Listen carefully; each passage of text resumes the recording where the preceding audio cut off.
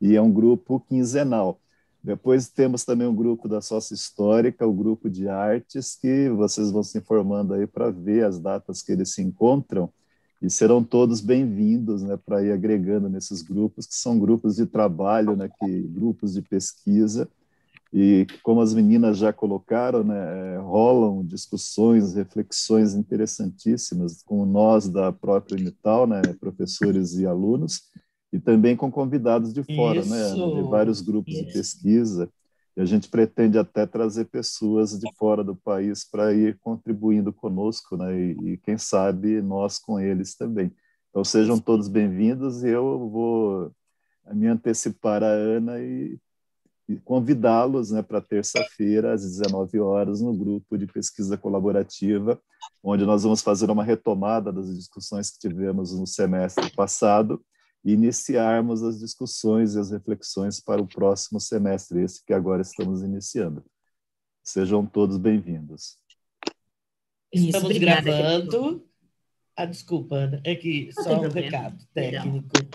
O, estamos gravando, estamos com 93 pessoas também contando a nossa equipe, e já está gravando também no Zoom. Está de modo público. Alguém tem alguma objeção sobre isso? Porque aí vai para o nosso site a aula e ela fica exposta a, a quem quiser. Vocês podem usar, inclusive, informação de vocês. O nosso site tem um repositório enorme de lives do ano passado, dissertações, todas as dissertações defendidas estão lá, é, produtos técnicos feitos por nós e vocês, tem notícias, tem tudo sobre o mestrado lá, então é um lugar onde vocês podem usar aquele material à vontade, porque é o que está público para aulas, para formação continuada com seus suas equipes de trabalho, então fiquem à vontade de usar o material ali no nosso site. Está gravando, Ana. Ótimo, ótimo. Então, de novo, sejam todos bem-vindos. A gente está vendo que tem um público eclético, tem aluna da pedagogia, Ana Beatriz, tem egresso, Rodolfo, as turmas de 2020, 2021, prazer enorme estar com vocês. A, a gente, é, o professor, professor Cristóvão já adiantou sobre os grupos de estudo, acho que é importante que vocês se engajem nesses grupos de estudo, são leituras diferentes das leituras das disciplinas, mas que geram uma reflexão e discussão é, muito profícuas para, é, inclusive, serem incorporadas à sua pesquisa, é, ao seu projeto de pesquisa, né, que estará em construção o grupo de arte e o grupo de sócio-histórica. Então, assim, nós temos programação durante a semana, que quinzenalmente acontece nesses grupos de estudo. O grupo de estudo de arte é na quinta-feira. Então, terças-feiras tem os grupos de colaborativa, alternando com o grupo de sócio-histórica, e às quintas, também quinzenalmente, o grupo de arte. Então, quem quiser frequentar os dois, os dois grupos, ótimo, ótimo. É, como já, frequentar já, os três. É também isso. Né? É, como já foi dito, são dois anos, dois anos passam muito rápido e serão muito intensos. E é importante que vocês aproveitem essa intensidade, é, se debruçando sobre as leituras, participando também dos seminários interdisciplinares. Os seminários interdisciplinares, que vocês foram avisados na, na, na entrevista, acontecem durante a semana, à noite, e é, contam como carga horária. Então, vocês precisam cumprir uma carga horária nos seminários interdisciplinares. E parte dessa carga horária é composta pelas palestras, pelos debates que vão acontecer. Então, eles já estão sendo organizados. Muito em breve, a gente já passa as datas antecipadas para que vocês se organizem com esta é, agenda, né, com a agenda de vocês.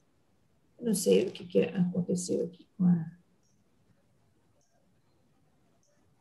Então, só repassando para quem ainda não tinha é, visto, aí, não vi Danilo, não tinha visto o Rodrigo, estão em outras telas, a Josi, que legal.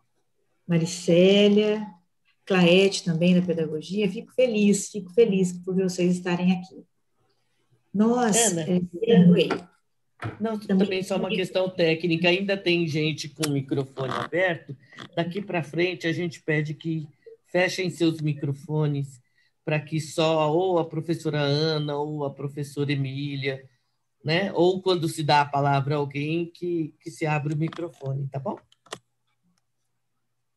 Ah, que legal, Ana, Ana Júlia. E tinha gente que não estava aparecendo na minha tela. Pessoal, por favor, a gente pede a vocês alguns, alguns recados práticos. Eu poderia dar isso depois, mas enquanto a gente já está aqui com todos atentos, nossa secretária costuma responder os e-mails no final do dia. Então, não se preocupem, porque mandou de manhã e até a hora do almoço ela não tinha respondido. Até o final do dia, todos os e-mails, todas as questões serão indicadas. Então, vocês têm telefone da secretaria, e-mail da secretaria, é, Juliana e eu na retaguarda, depois terão seus professores orientadores, então vocês não terão desamparo nenhum. Todos têm o telefone dela, a Alessandra é sempre muito solista na, na resolução dos problemas, ou na, na, no que depende dela, muito rápida também para resolver as coisas. Então, é, fiquem atentos a isso. Não se desesperem se os e-mails não forem respondidos é, na hora, porque ela, ela atua, atende a três programas. Talvez a gente pudesse inverter, então, enquanto a professora, acho que ela está com algum probleminha para entrar. Enquanto ela não entra, a gente poderia inverter. A gente poderia fazer a apresentação dos professores agora. O que, que vocês acham? Pode ser, tá bom Não é? Então, Neuza, você está aparecendo na minha tela aqui. Você poderia se apresentar, por favor? É, Tereza, aí. Bom dia, bom dia a todos, aos nossos colegas e aos nossos novos mestrandos, né? É, é um prazer recebê-los aqui, sejam todos muito bem-vindos. É, eu venho trabalhando no mestrado desde o início, né? A Ana, junto com a Ana, em 2014, e vou trabalhar um pouco na disciplina desenvolvimento profissional, mais tarde é a primeira disciplina de vocês, mais tarde a gente vai conversar um pouco sobre a disciplina, né? Então, por enquanto, uh, eu já tenho uma longa carreira, mas é sempre um prazer uh, continuar uh, trabalhando e atuando como formadora, né? E, ao mesmo tempo, aprendendo. Eu acho que quando a gente for falar um pouco sobre a disciplina de desenvolvimento profissional, a gente vai ver que ela tem essa ideia de aprendizado ao longo da vida. Então, a gente continua aprendendo, né?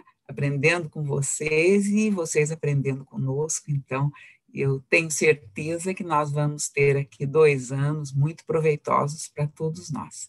Bem-vindos e vamos começar aí, como a Ana já falou, uh, dois anos muito intensos, né? mas de muito desenvolvimento. É isso.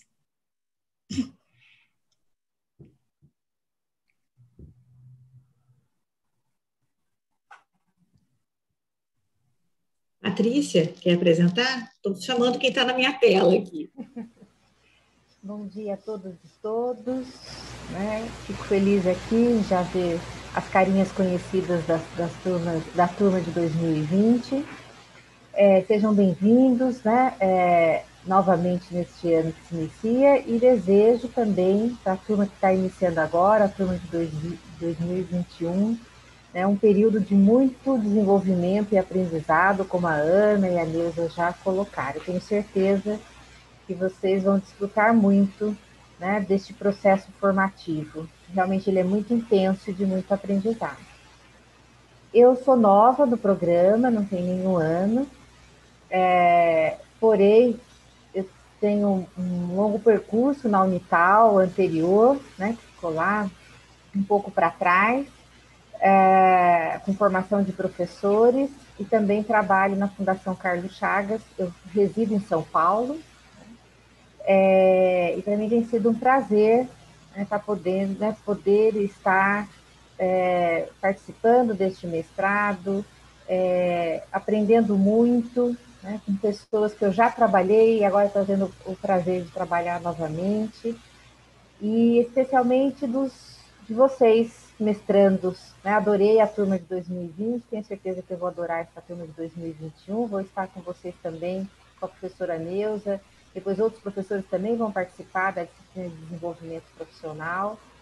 E para mim tem sido um prazer né, essa, essa proximidade com, tantas, com tantos professores e professoras das diferentes redes do Vale do Paraíba, né, do Fundo do Vale, do Rio de Janeiro, enfim essa, esse contato, essa relação, ela é extremamente importante e formativa. Como eu disse, a Neuza, nós aprendemos muito com vocês também. Um, um grande abraço a todos e também um abraço especial para os meus colegas de trabalho.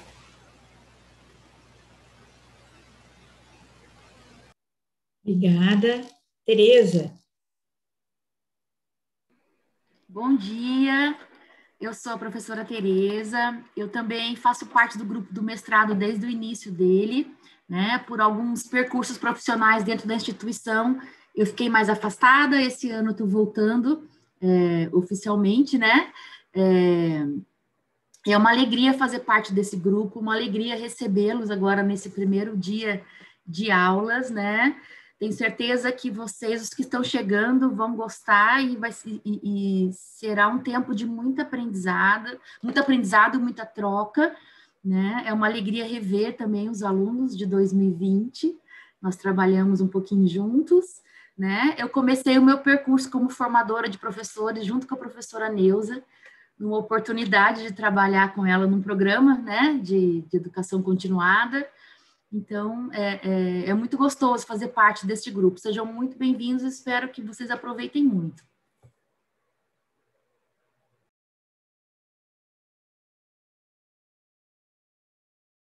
Suelene, falem a área que vocês pesquisam, para eles terem uma noção do que vocês gostam, do que vocês é, é, pretendem pesquisar com eles, que linha vocês são.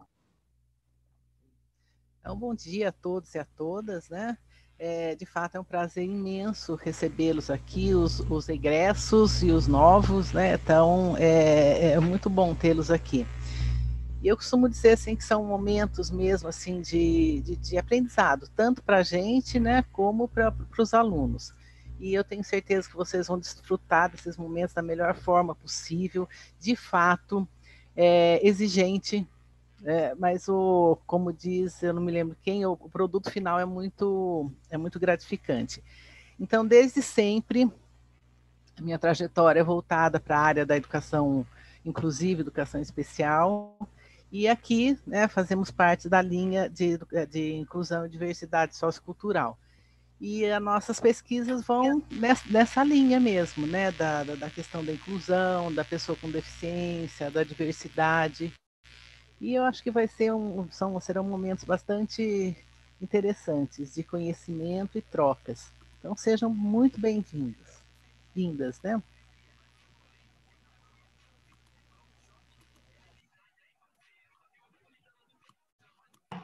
Muito bem, então. Deixa eu ver aqui quem mais. Cobo.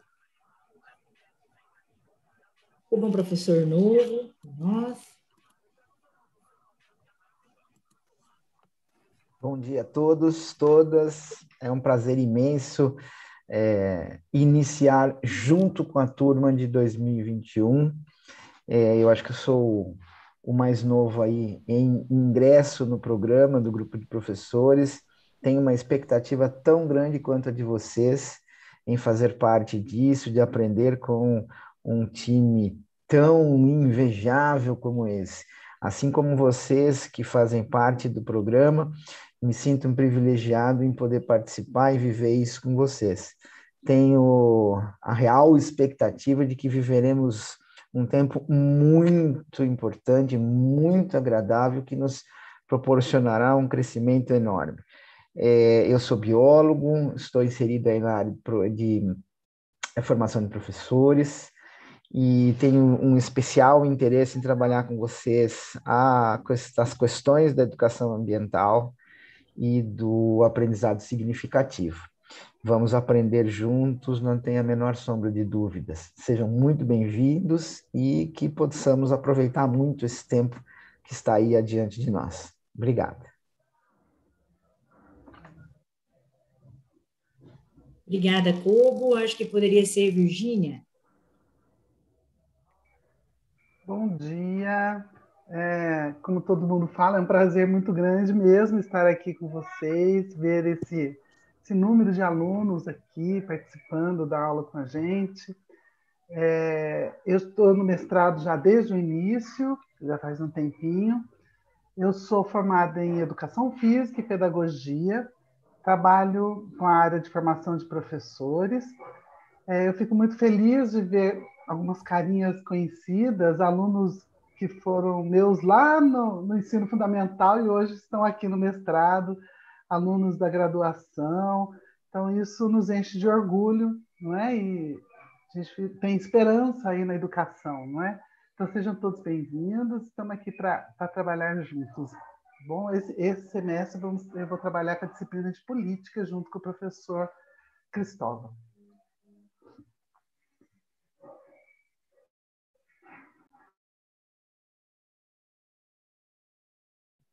Deixa eu ver quem mais poderia.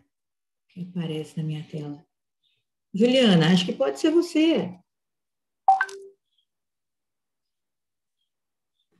Ligar o som aqui.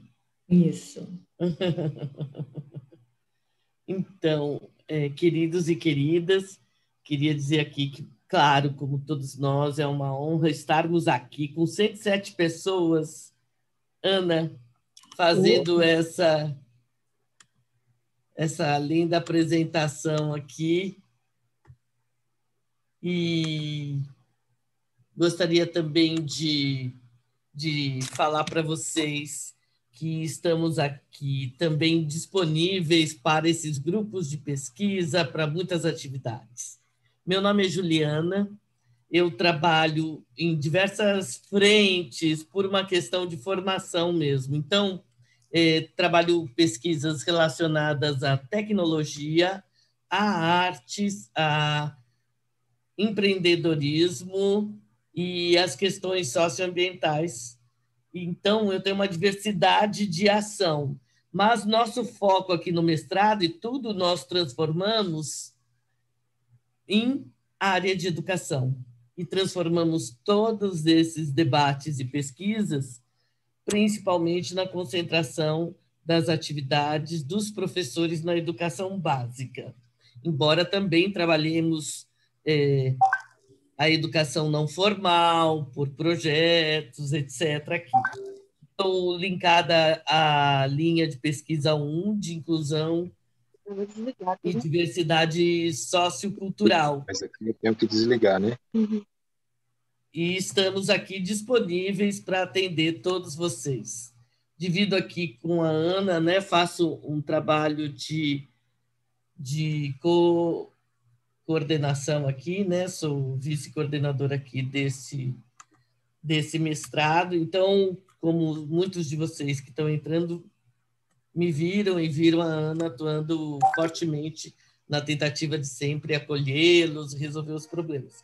Então, estamos aqui para isso, tá bom? Joia. Uh, Liliane, Liliane também é novidade no programa, assim como o Cobo. Sim, sim. Bom dia a todas e todos. É, é um prazer enorme conhecê-las, é, estar aqui participando dessa atividade e também ser parte dessa equipe muito competente de professores, né? De ser parte é, da Unital, desse processo de formação que vocês vão iniciar, né? Eu também sou caloura aqui, né? Como muitos de vocês, né? E eu sou doutora pela Faculdade de Educação da Unicamp, estou começando a minha carreira docente, mas muito animada para contribuir né, nos debates, nas análises sobre o trabalho docente, sobre gênero, sobre educação antirracista, e, enfim, para contribuir em geral com os projetos que estão começando em desenvolvimento também aqui. Vamos construir grupos de estudos, atividades em geral, e estou bem animada. É, e, enfim, desejo que nós tenhamos um bom dia de trabalho e um bom semestre. Então, um grande abraço aí a todos e todas, e em especial também aos meus colegas. Bom dia. Ah, obrigada, Lili. Nena, por favor. Bom dia. É, é um prazer estar aqui com vocês. É um prazer retomarmos o ano letivo, né? No auge de uma pandemia, mas com todo o gás e toda a boa vontade para desenvolver novos conhecimentos e travar novas experiências. É um prazer enorme. Eu sou da linha de pesquisa, formação e desenvolvimento profissional, mas também transito pela inclusão nas questões que dizem respeito ao contexto escolar, as, as a diversidade presente nesse contexto. Prazer em estar com vocês e vou acolhê-los depois durante a aula, se Deus quiser, muito bom. Obrigada.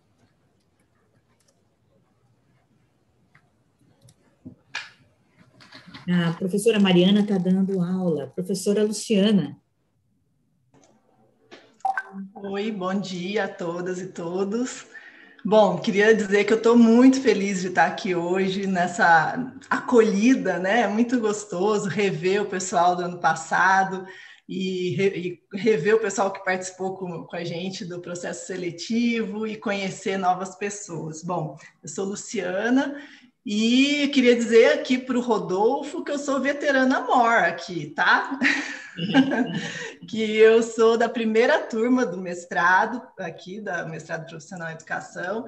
É, iniciei em 2014, defendi em início de 2016 e é, estou agora né, às vésperas da minha defesa do doutorado na PUC de São Paulo em Psicologia da Educação.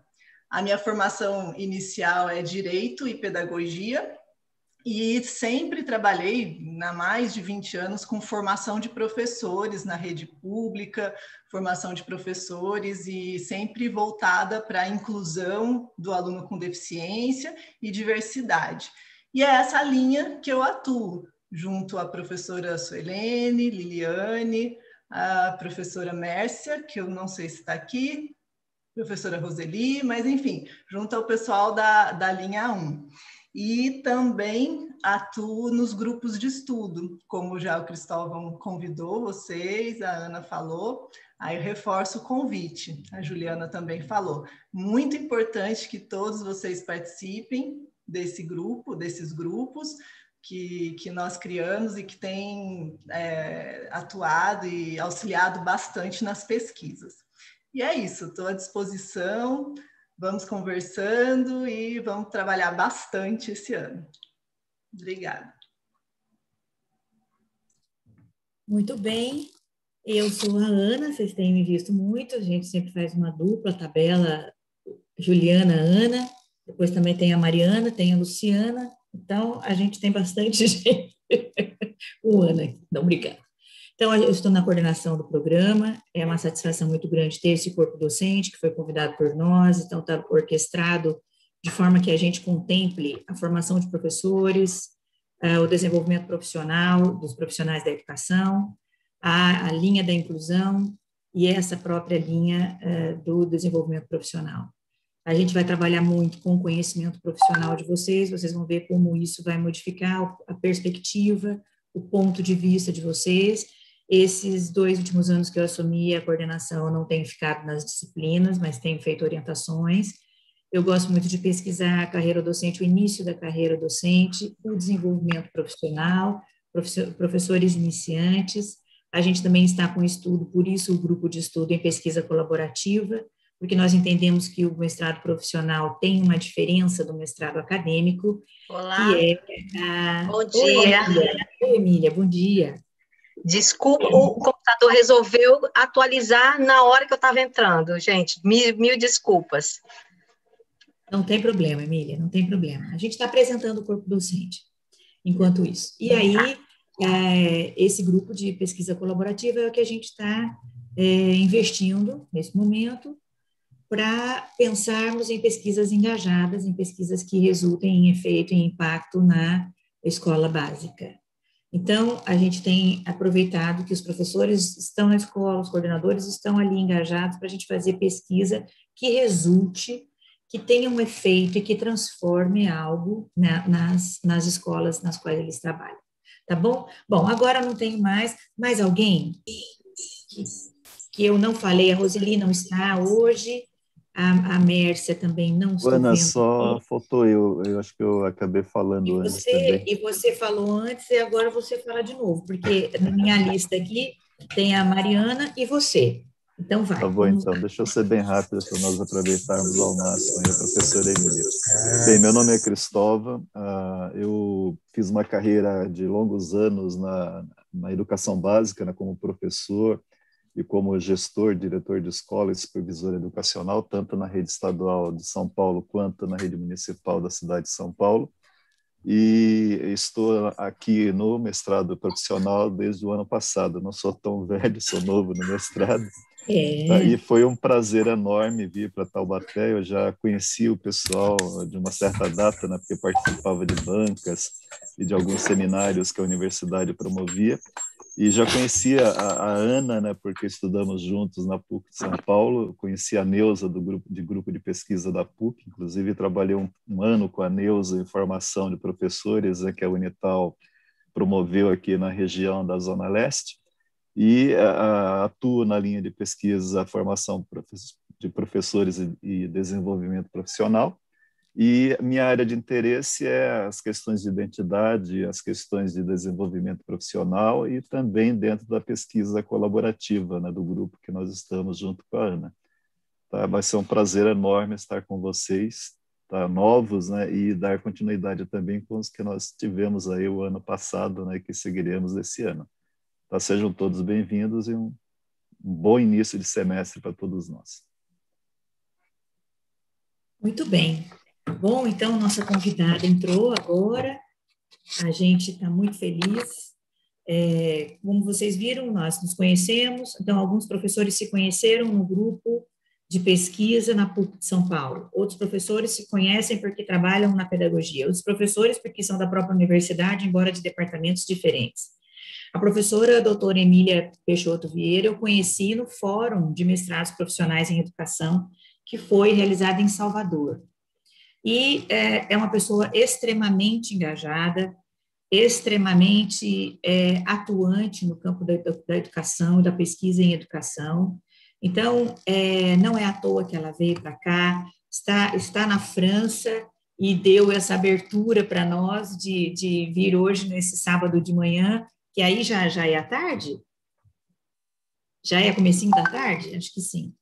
E para falar conosco.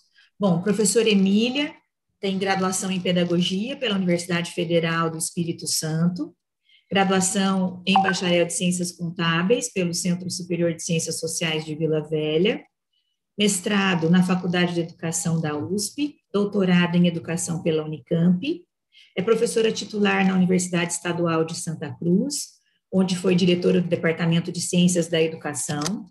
É professora do quadro permanente e coordenadora do Programa de Pós-Graduação em Mestrado Profissional, PPGE-UESC. Foi membro do Comitê eh, de Ética da Universidade de Santa Cruz, foi vice-presidente da Regional Nordeste do Fórum Nacional dos Diretores de Faculdades e Centros de Educação das Universidades Públicas Brasileiras, Furandir. Foi diretora da seção do Espírito Santo da Associação Nacional de Política e Administração em Educação, AMPAI.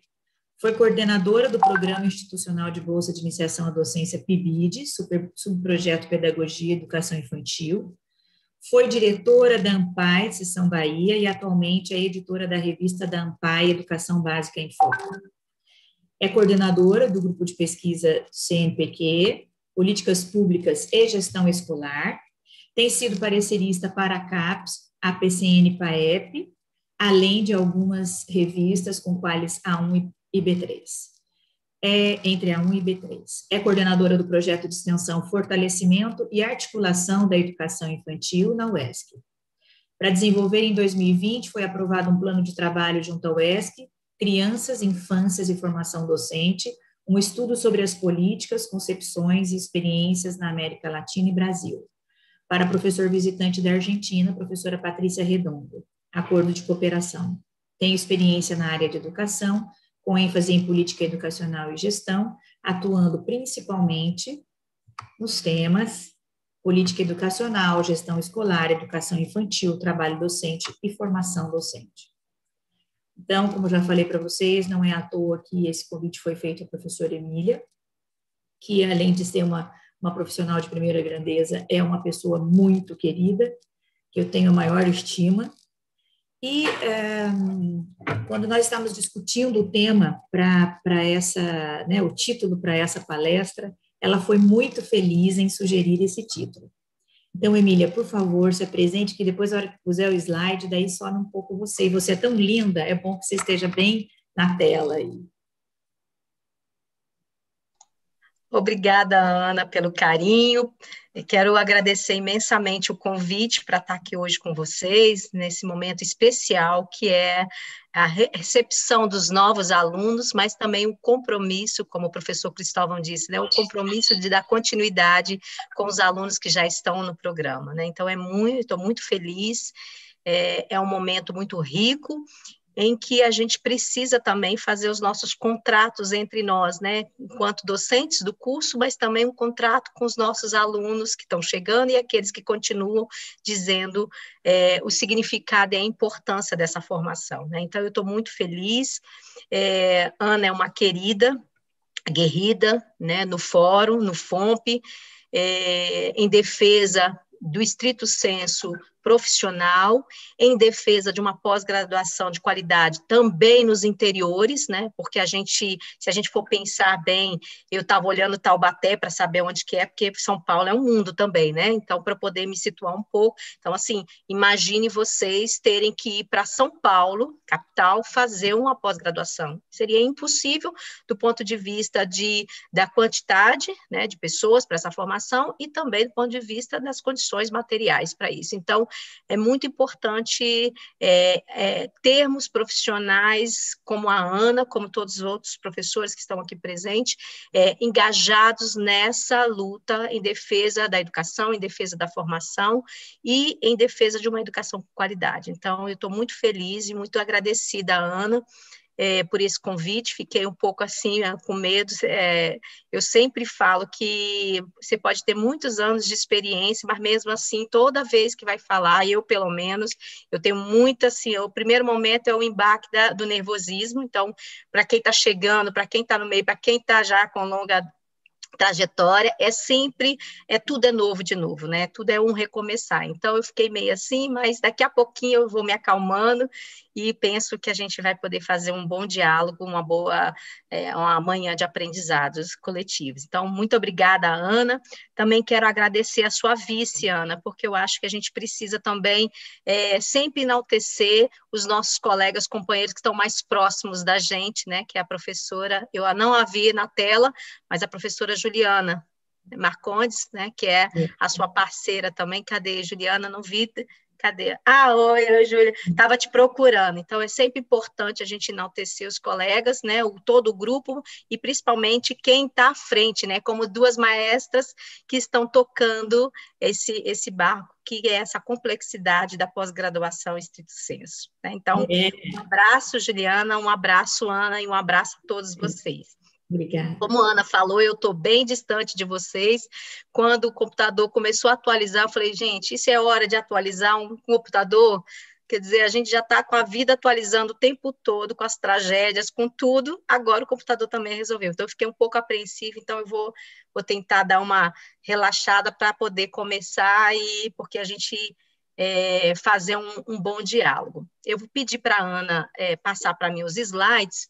É, quando eu escolhi esse tema para Ana, foi um momento muito, muito particular do ponto de vista das reflexões que eu venho tendo. Né? Eu estou aqui na França em um processo de pós-doutoramento, é, ainda não comecei ainda, mas vou começar, e pensando um pouco sobre a educação.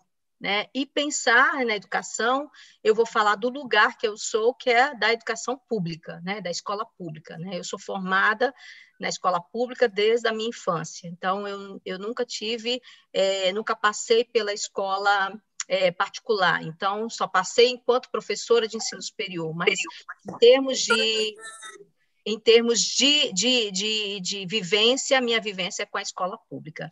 E nesse lugar que eu quero falar, por conta de que é nesse lugar que eu tenho trabalhado, nesse período, né? Eu já tenho mais de 20 anos de ensino superior, não fiz botox e apenas tento manter a forma para poder é, continuar esse trabalho. É, já passei pela educação básica, já fui professora na educação básica, já fui coordenadora pedagógica, já fui diretora também é, nesse lugar da escola básica. Depois fui para o ensino superior e no ensino superior passei não só na docência, mas também em cargos administrativos. Então, de uma certa forma, tenho, tenho uma, uma vasta experiência no sentido de pensar esse todo, analisar esse todo, e é por isso, então, que eu propus é, essa temática. O mestrado profissional em educação, a sua importância, eu já estou traduzindo o que eu quis dizer dessa, dessa minha, desse título que eu sugeri à Ana, e que foi bem acolhido, é, a importância dele para essa formação docente e principalmente porque com essa formação a gente se aproxima cada vez mais da escola básica, da escola pública básica, né? Então, Ana, pode passar por gentileza. Eu organizei essa minha apresentação em três etapas para que a gente pudesse compreender do lugar que eu quero falar e desse lugar que eu ocupo hoje. Né? É, eu quero falar um pouco desse lugar, principalmente porque, como a Ana colocou, nós somos alunos que estão chegando na pós-graduação e precisa é, já entrar com essa defesa dos mestrados profissionais e doutorados, né? e aí eu acrescentei os doutorados, porque agora a gente já tem doutorado profissional em educação. Então, a importância de vocês que estão chegando e daqueles que estão, que depois vão sair, é, defenderem essa, essa possibilidade da pós-graduação é, estrito senso na modalidade profissional. Então, eu vou fazer um pouco dessa trajetória. No segundo momento, eu vou falar um pouco dessa formação docente para a qualidade da educação brasileira, pensando nessa trajetória dos mestrados e doutorados profissionais, e na última parte, como é que esse mestrado e doutorado precisa pensar a partir dessa escola pública e da população brasileira, que é a maioria que acessa essa escola.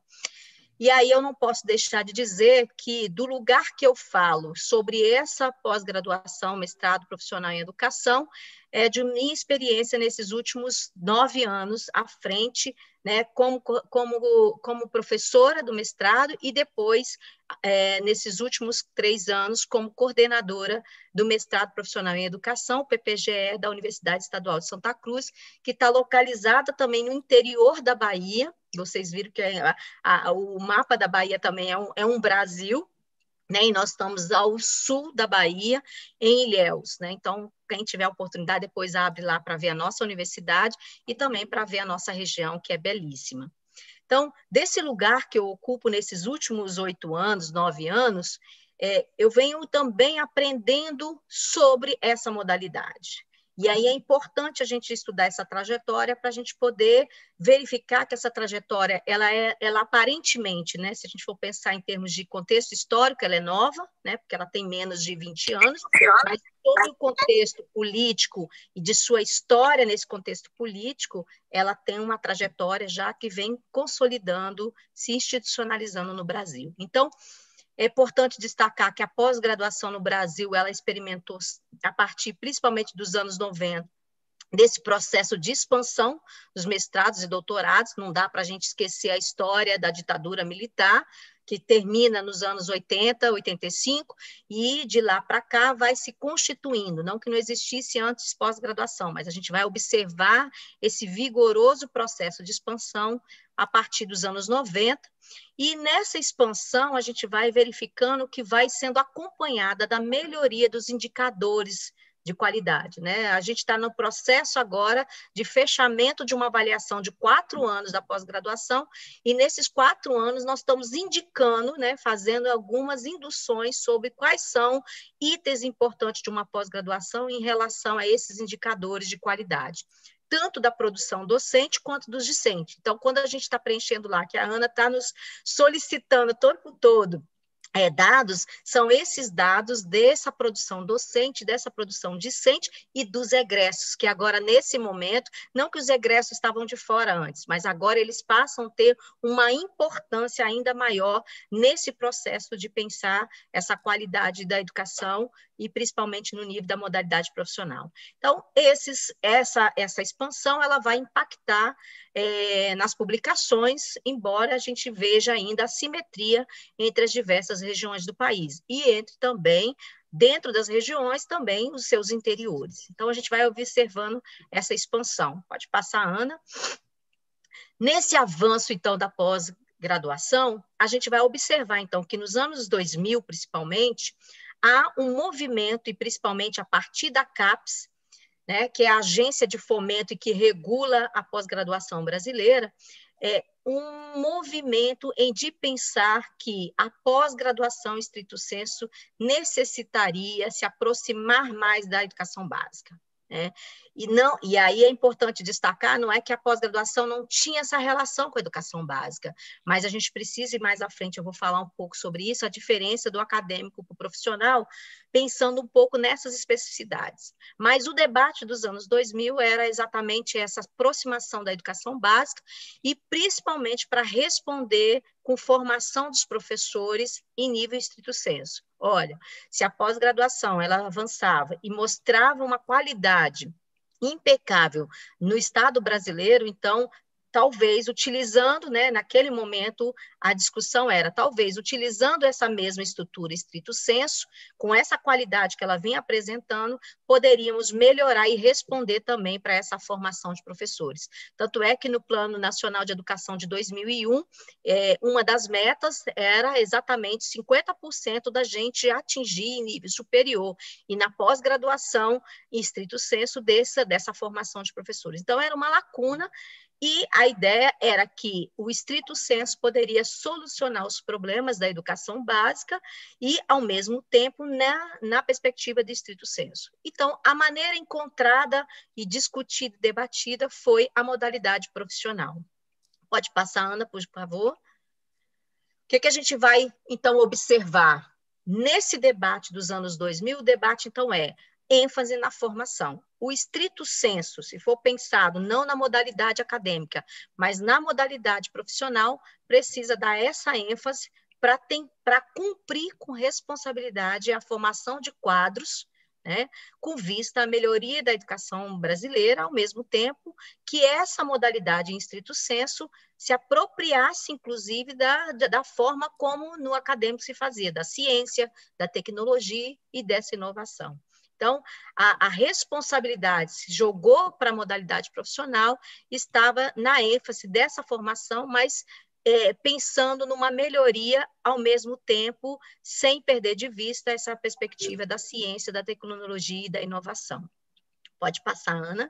Bom, nesse debate também a gente vai observar que vai gerar e gerou muitas incertezas. Né? A primeira delas que a gente pode observar foi a questão sem recursos, né? Porque o Brasil ele é mestre a fazer planejamentos sem apontar de onde vai vir esses recursos. Então, como é que a gente poderia pensar numa magnitude dessa, que é a formação de professores, em estrito senso, que tem uma exigência é, é, é, na qualidade nas ações, mostrando resultados sem recursos.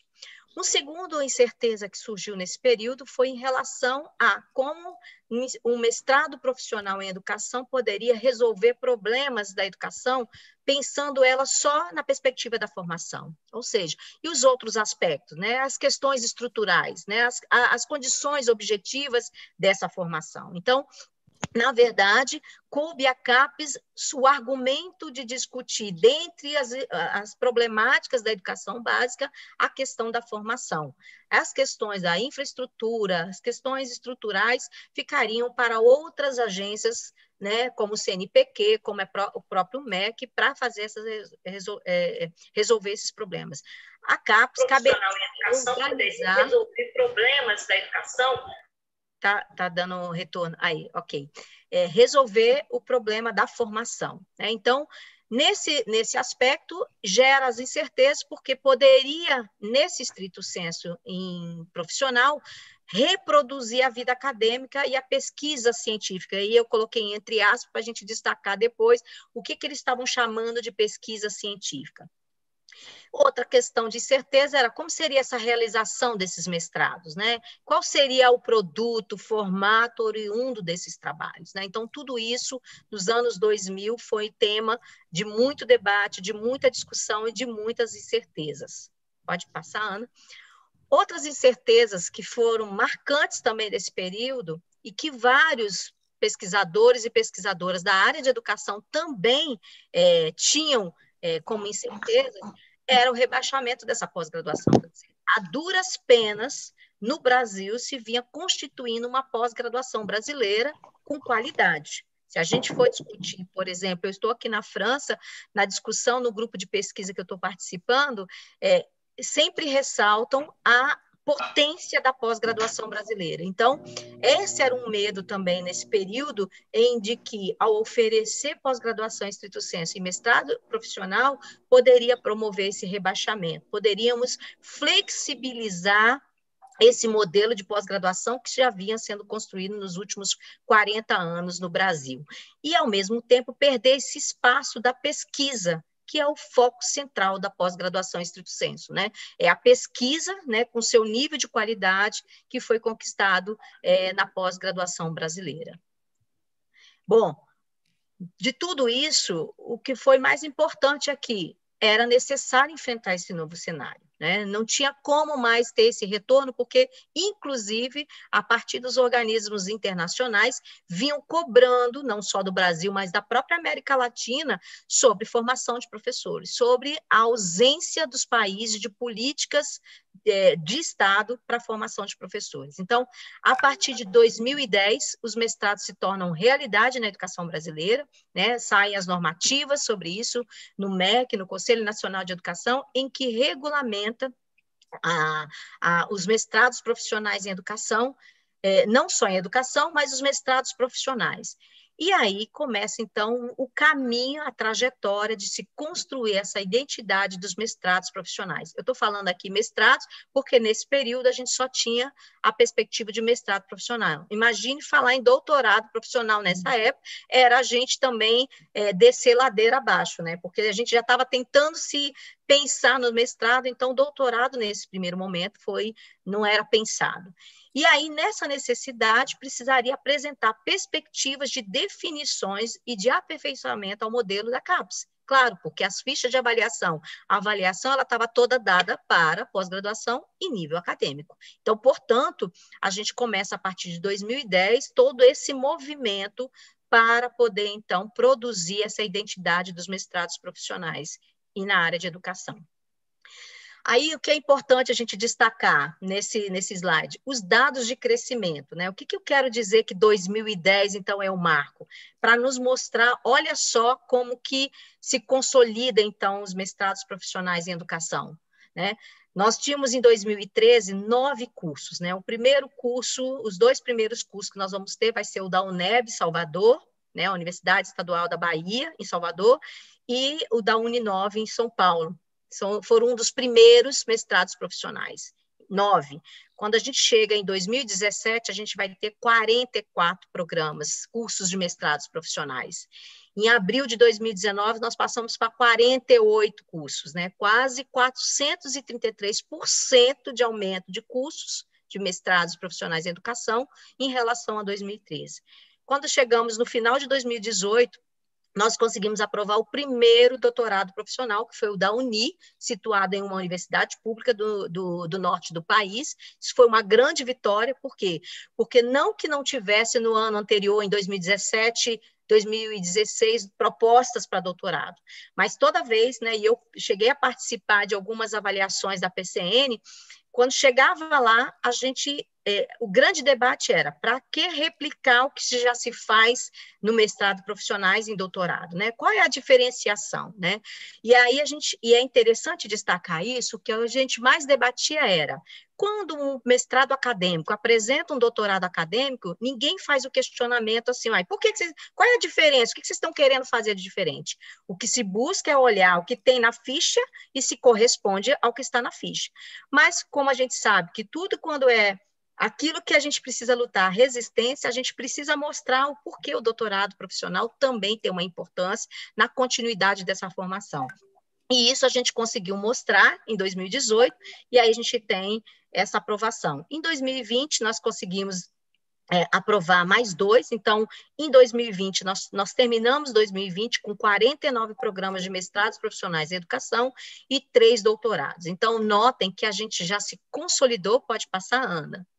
A gente já se consolidou na história da pós-graduação em Estrito Ciência no Brasil, e um dos grandes méritos dessa, dessa consolidação vem do Fórum de Mestrados Profissionais em Educação, que a Ana comentou né, em que ele reúne não só coordenadores de mestrados e doutorados profissionais da área, mas também os professores que defendem essa modalidade é, estrito senso. Então, desde 2014, o Fórum tem tido uma grande importância na defesa e também na, na construção de sua identidade, da sua especificidade.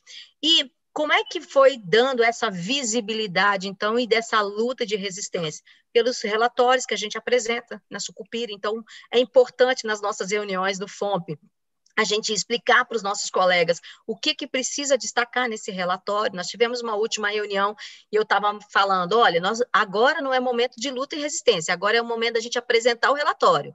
Quando terminar, volta a luta de novo, porque agora o jogo já finalizou. Nós precisamos apresentar resultados desse jogo que nós fizemos nesses últimos quatro anos. E a visibilidade que a gente mostrou foi pelos relatórios, pelos artigos publicados nas revistas da área. Nós temos muitos trabalhos importantes já produzidos nos mestrados é, profissionais de educação que estão publicados em revistas, quais A1, A2, A3, A4, que são de estratos mais altos, nas participações dos eventos, né? Como que as pessoas olham com curiosidade. Ah, foi no mestrado profissional, quer dizer, como se a gente fizesse menos, né, ou mais, ou não fizéssemos, né? Então, tudo isso é, e também na apresentação da coordenação da área de, da CAPES, né, nós vamos dando visibilidade a, a esse trabalho para tentar contribuir na diminuição desses preconceitos, dessas resistências, mas a gente sabe que ainda é, a, nós apresentamos é, nos grupos da comunidade acadêmica ainda tem esses preconceitos, né, essas resistências, mas está cada vez mais diminuindo e desaparecendo. Por quê? Porque o nosso trabalho tem sido mostrado um trabalho com qualidade.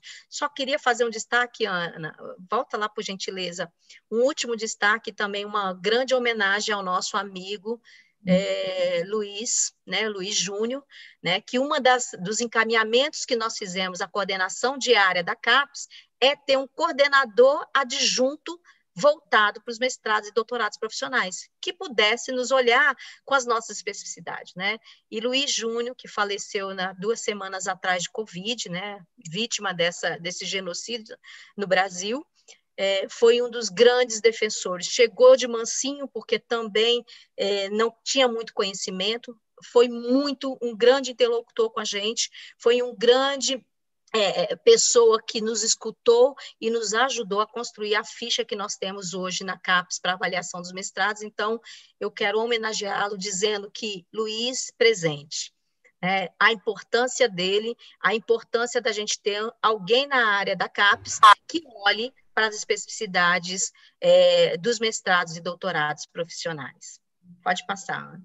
Emília, acho que a gente teve duas grandes perdas, né? A Marli André também, que se foi. Eu vou falar nela daqui a pouco também, que eu quero né? também homenageá-la nesse processo, viu, Ana?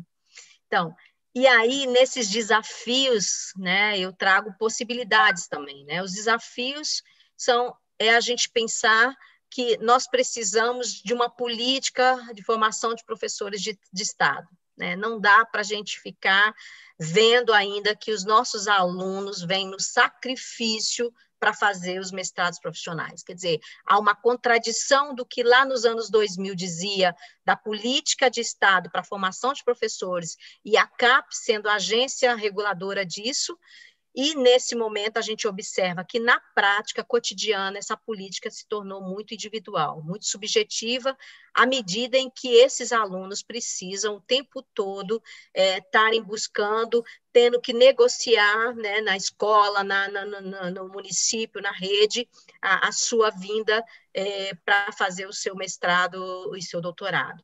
Também a gente é um desafio também a gente pensar uma política de financiamento dessa formação. Então, a gente sabe que há verbas né, de custeio para esse tipo de, de política, mas a gente sabe que isso muitas vezes há um desvio nesse processo. É também um desafio nosso, né, essa diversidade dos PPGs em educação. Nós temos aí uma gama, cada mestrado, essa gama de diversidade, ela nos une é, na relação com a educação. Os desafios da avaliação e do financiamento, eu falei de uma ficha que hoje é própria dos mestrados e doutorados profissionais, mas ela ainda não é o ideal, mas ela já está mais próxima daquilo que realmente a gente faz, e, portanto, dessa identidade em construção, que a gente ainda está em construção dessa identidade dos mestrados e doutorados profissionais em educação. De, pode passar, Ana? Dentro dessa identidade em construção, a gente tem também. Espera que. Ana, você pode passar para mim, que eu não estou vendo aqui. É, eu também me perdi aqui. Espera aí, eu vou ter que vou, vou é, próxima, é, o próximo slide. É, eu me eu mexi aqui e aí, espera só um minuto, já já vou já vou voltar. Certo. Sempre tem um caninho, né? Então, hoje fui eu que dei o furinho. Espera aí que já volto. Tá ok, gente? Também podem falar se tá, se tá bom, o ritmo tá voltou? indo. Voltou? Ótimo. Passa, pode passar agora. Aí, voltou. Voltou. Então, passa, volta um pouquinho atrás, Ana, só para eu ver. Mais uma para trás. Ah, ok, pode passar. Então, nessa identidade, então, é, em construção, é, a gente precisa, então, pensar nessa diferenciação entre o profissional e o acadêmico. Né? O Roberto Janine Ribeiro, lá nos anos 2005, 2006, ele teve no posto como diretor da CAPES, né? e lá ele mostrava que os mestrados acadêmicos e profissionais, ou seja, o estrito senso, o papel dele está centrado na imersão da pesquisa. Então, esse é o primeiro movimento que a gente precisa entender. Fazer pesquisa é no estrito senso. Né? E nesse momento ele falava: olha, no mestrado acadêmico, procura-se pela imersão na pesquisa, formar o pesquisador a longo prazo. Então, a ideia do acadêmico é que esse pesquisador pudesse, então, é, é, ser formado é, como fazer pesquisa, como fazer essa relação com a pesquisa. No mestrado profissional, ele vai dizer, olha, ele precisa ter essa imersão na pesquisa, mas no sentido de compreender e saber como utilizá-la. Então, eu usei essa expressão que está entre aspas aí, que é da Marli André, que ela vai dizer como usuário privilegiado da pesquisa. E aí, pode passar, Ana. A Marli André, que aí agora que eu quero homenageá-la, né, foi uma grande pesquisadora, né? ninguém pode negar a sua importância na história é, da educação é, brasileira, é uma grande pesquisadora, né? muitos dos nossos trabalhos têm é, referências a Marli, a Marli foi uma das grandes pesquisadoras que nos ajudou a compreender mais sobre essa especificidade é, é, do mestrado profissional. Então, eu quero também homenageá-la é, nesse, nessa, nessa minha apresentação e dizer o quanto ela foi importante para nos ajudar a esclarecer o que é um mestrado profissional. E aí ela vai dizer, olha, eu concordo em parte com Janine. É verdade que a pesquisa ela tem uma importância na formação tanto acadêmica quanto profissional. Mas no profissional não pode ser só usuário. Nós não podemos fazer com que os nossos alunos que saiam dos mestrados profissionais só saibam fazer o uso da pesquisa. Eles precisam pensar essa pesquisa. A pesquisa precisa ser adotada como forma de análise de sua prática profissional. E é esse o grande diferencial que nós temos, então, na pesquisa, na relação do profissional. Por quê?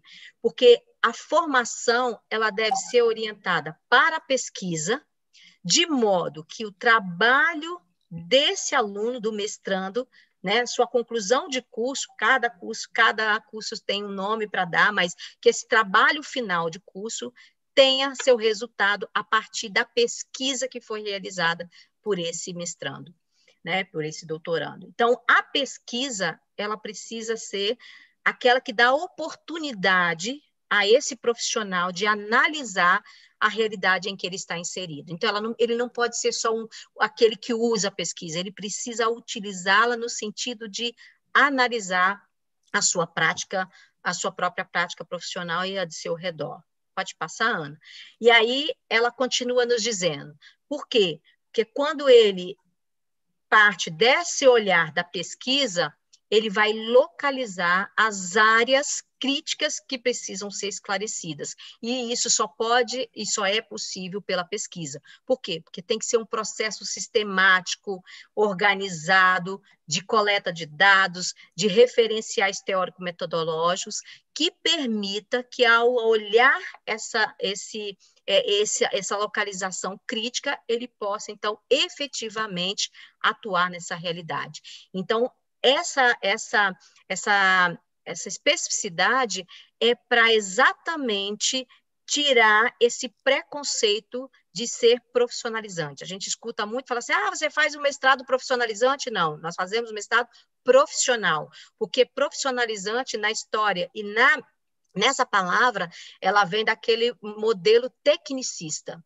E esse modelo tecnicista dá a sensação de que é colocar em prática algo, e esse algo não precisa ser necessariamente refletido. Na questão do profissional, ele precisa analisar criticamente, e é só é possível por meio da pesquisa. Então, a pesquisa, quando ela promove a reflexão crítica sobre a prática profissional né, de, da educação, ela pode, então, é, possibilitar, possibilitar o desenvolvimento de indivíduos críticos e criativos. Então, essa é a grande diferenciação. É o uso dessa pesquisa de forma e de caráter sistemático de coleta de dados. Então, não é senso comum, não é praticismo, não é ativismo. Pode passar, Ana? E aí, uma coisa que é muito importante para os mestrados profissionais e doutorados. Precisa de sujeitos implicados, né? Nesse processo de apropriação desse conhecimento, de conhecimento de sua própria prática, né? Numa criação, como, diz a, como dizia a, a, a Marli André, coletivo colaborativo, né? Que permita a partilha desses conhecimentos numa construção coletiva de novos conhecimentos. Então, não é se apropriar desse conhecimento e fazer na escola, na rede, na coordenação pedagógica, enquanto diretor, eu, eu, eu vou para o mestrado para depois traduzir isso é, num processo em de aculturamento do outro, né? É como se eu fosse lá formatar o outro a partir do que eu me apropriei de conhecimento, né? Se pensarmos dessa forma, nós não estamos fazendo mestrados e doutorados profissionais, nós estamos fazendo é, a formatação de sujeitos a partir daquilo que eu acredito. Então, com sujeitos implicados, eu preciso de trabalho coletivo, eu preciso de construir, partilhar esses conhecimentos que eu busco na pós-graduação com os meus colegas, com os pares do qual estou envolvida. É, então, vem a minha segunda apresentação, né, que é a formação docente, então, nessa pós-graduação, mestrado profissional e doutorado profissional. Então, como que vai ser essa formação? E aí a gente tem que fazer um primeiro questionamento, né? Quem somos nós, docentes da modalidade profissional? Nós também, dos programas, do programa Unital, precisa se conversar sobre quem somos nós. Qual é o nosso perfil nesse processo, né? E aí eu tive a curiosidade de entrar lá na página do programa para olhar a formação dos colegas, para poder dizer e reafirmar isso que eu falo. Essa é uma diferenciação nossa também no profissional. Nós trabalhamos com diversas formações, né? A partir da modalidade acadêmica. Né? Nós somos formados nessa modalidade que tinha uma outra característica, formar pesquisadores. Né? Claro que muitas das nossas pesquisas, né, quem teve a oportunidade de trabalhar no mestrado acadêmico e no doutorado acadêmico, ou a nossa formação foi para pensar, né, formando nós como pesquisadores, hum, como atividades científicas, né, para o processo de pensar os diferentes conhecimentos, né?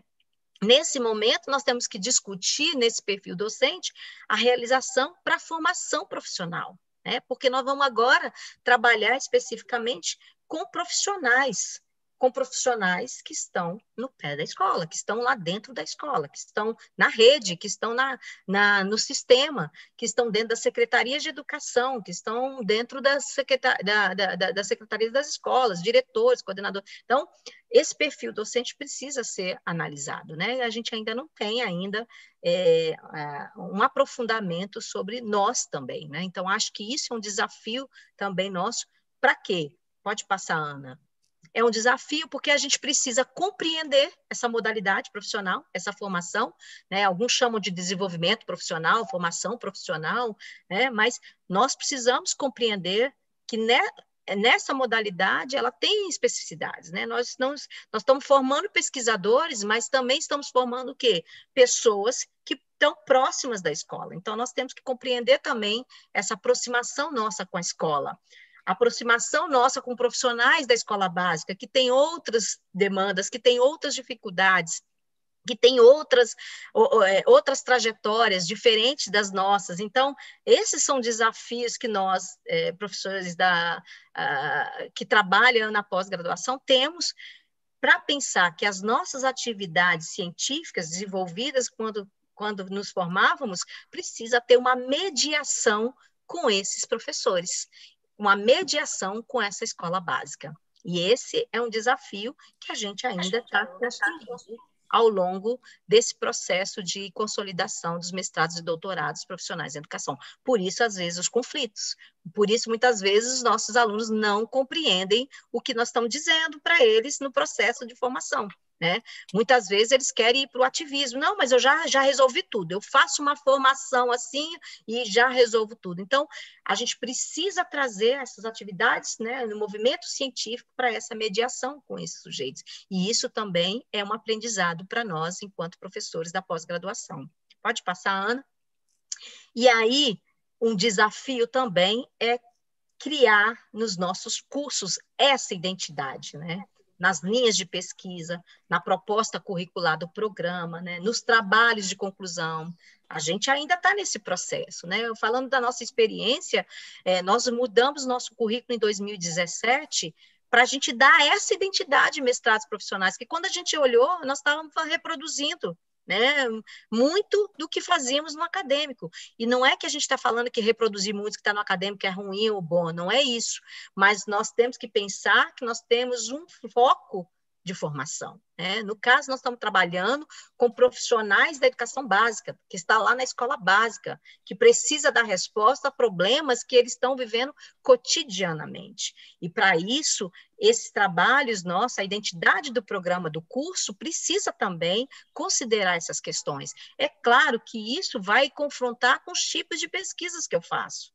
Né? Olha, mas eu, eu faço uma pesquisa que não necessariamente precisa ter uma mediação na escola, né? ela passa num campo muito mais científico, se a gente for pensar na aproximação do acadêmico do que do profissional, mas mesmo assim eu posso fazer reflexões de como eu utilizar essa minha atividade científica nesse, nessa mediação com os profissionais da educação. Pode passar, Ana. E aí, né, a Marli André traz uma, alguns apontamentos nesse trabalho, nesse artigo, que depois eu acho interessante vocês olharem, que eu acho que é bem legal, que nos ajuda muito e é importante, principalmente para quem está começando agora, para quem está no meio preparando o projeto de pesquisa para mandar o comitê de ética, que é o nosso problema, que como são pesquisas interventivas de mediação, precisa passar pelo comitê de ética. Então, a importância que para fazer pesquisa não é pesquisa de opinião de Facebook, que não é pesquisa de opinião de WhatsApp, né? Não é uma pesquisa de, de fake news ela precisa ter habilidades necessárias à realização de pesquisa. Né? Se vocês estão vindo para o estrito senso, porque vocês estão querendo sair desse senso comum. E senso comum não é saberes populares. Né? Nós não estamos falando aqui, ah, então não vai respeitar. As... Não, nós estamos falando que fazer pesquisa precisa ter uma problemática o que vai requerer um aprendizado do que é problematização. E aí eu coloquei assim para deixar bem explícito entre, entre parênteses assim, o que de fato me incomoda, né? É o que eu, eu sempre converso com os meus orientandos e orientandas. O que de fato te incomoda? Porque na hora que a gente vai discutir essa problematização, ele não tem problema, porque o problema já foi resolvido. Então, é até que ponto eu conheço a realidade que quero pesquisar. Né? Então, muitas vezes a gente pega profissionais que já têm 15, 20 anos e parece que ele já conhece tudo, e ele conhece, né? Nós partimos do pressuposto que ele conhece, mas até que ponto que ele conhece, né? Então, a importância do ponto de partida, né, dessa problemática, de aprender a fazer a problemática, e isso é um desafio para nós professores formados no acadêmico trabalhar com os nossos alunos, nos aproximando da escola básica, nos aproximando desses profissionais. Formular questões orientadoras, né? Como é que nós vamos dar respostas para essas questões problematizadoras, né? Como aprender a localizar as fontes, né? E aí isso é muito interessante porque a gente, né? E, eu, eu e a gente, eu estou me incluindo também, muitas vezes a gente passa assim, ó, oh, então você vai fazer a pesquisa lá no, no na, na, no depositório da, da CAPES, depois você vai no Cielo, depois você faz, porque eu tô, esses são melhores, e, e a gente pressupõe que esses sujeitos que estão inseridos na escola básica, que estão da escola, já têm o domínio desse academicismo, né? dessa, dessa, dessa lógica e dessa construção da pesquisa. Né? E aí a gente não trabalha, e a importância disso. Né? O nosso programa, é, uma professora nossa fez uma proposição, professora Luciana Sedano, e a gente vai encaminhar para trabalhar um pouco com os alunos sobre esse processo de localização das fontes, a importância dela, por que, que tem esse monte de lugares, por que pesquisar no Google School e não, e não no Cielo e não o que, que isso tem a ver não só de consultas, mas também da construção de conhecimento e do lugar onde elas ocupam, né?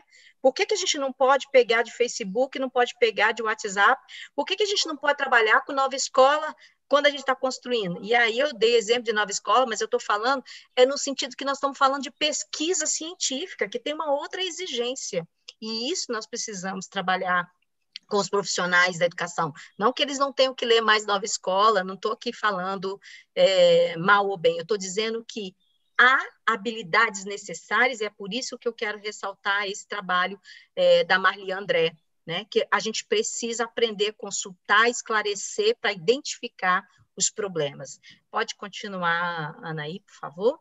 Então, é preciso conhecer os procedimentos metodológicos, né? Como relato oral, observação. É por isso que a gente sempre começa, nós professores, já observei vários programas tentando fazer uma pesquisa para um apanhado sobre os mestrados profissionais. A gente sempre tem uma disciplina com diferentes nomes, mas que é para metodologia de pesquisa em educação. Né? Pra gente, por quê? Porque os nossos alunos precisam ver os tipos de pesquisa que nós temos né, para a área da educação, que são mais viáveis para a área da educação. Né? A gente precisa trabalhar um pouco sobre essas questões. E aí, a Marli não deixa explícito esse espaço, mas é claro que quando ela está apresentando, principalmente nesse texto e nos outros, sobre a importância dessas habilidades necessárias para a pesquisa, ela está dizendo sobre o quadro teórico-metodológico. Esse, para mim, é fundamental. Não dá para a gente se apropriar de conhecimentos é, é, sem pensar nessa articulação entre teoria e prática. Né?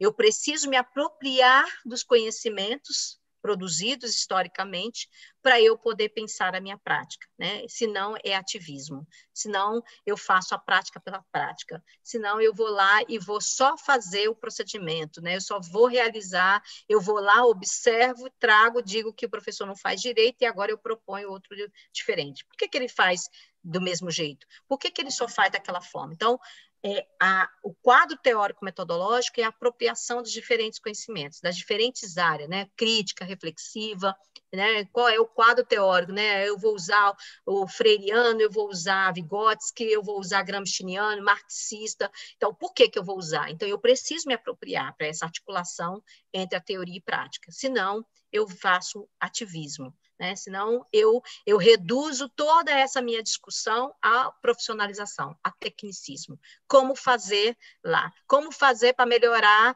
é, os índices de IDEB na escola, né? Nós fazemos outra aula com metodologia e a gente vai acertar. Não é isso a proposta da pesquisa no mestrados profissionais em educação.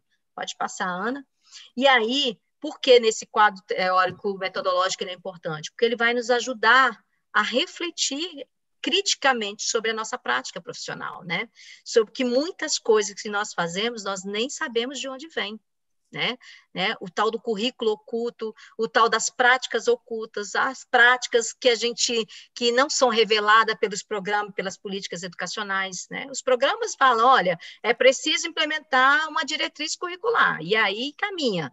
Como isso se realiza no cotidiano da escola é a prática, observando essa prática profissional, é que a gente vai observando como é que eu faço. Não, olha, aqui eu sempre, eu sempre dou oportunidade para os alunos, eu sempre discuto com os alunos, eu sempre deixo as crianças falarem. Aí você vai observar. E quando você vai observar, quem decide como que hora que vai para o banheiro é a professora, a metodologia do trabalho é ela que decide. Então, assim, ou seja, eu tenho um discurso, mas eu tenho uma prática diferente.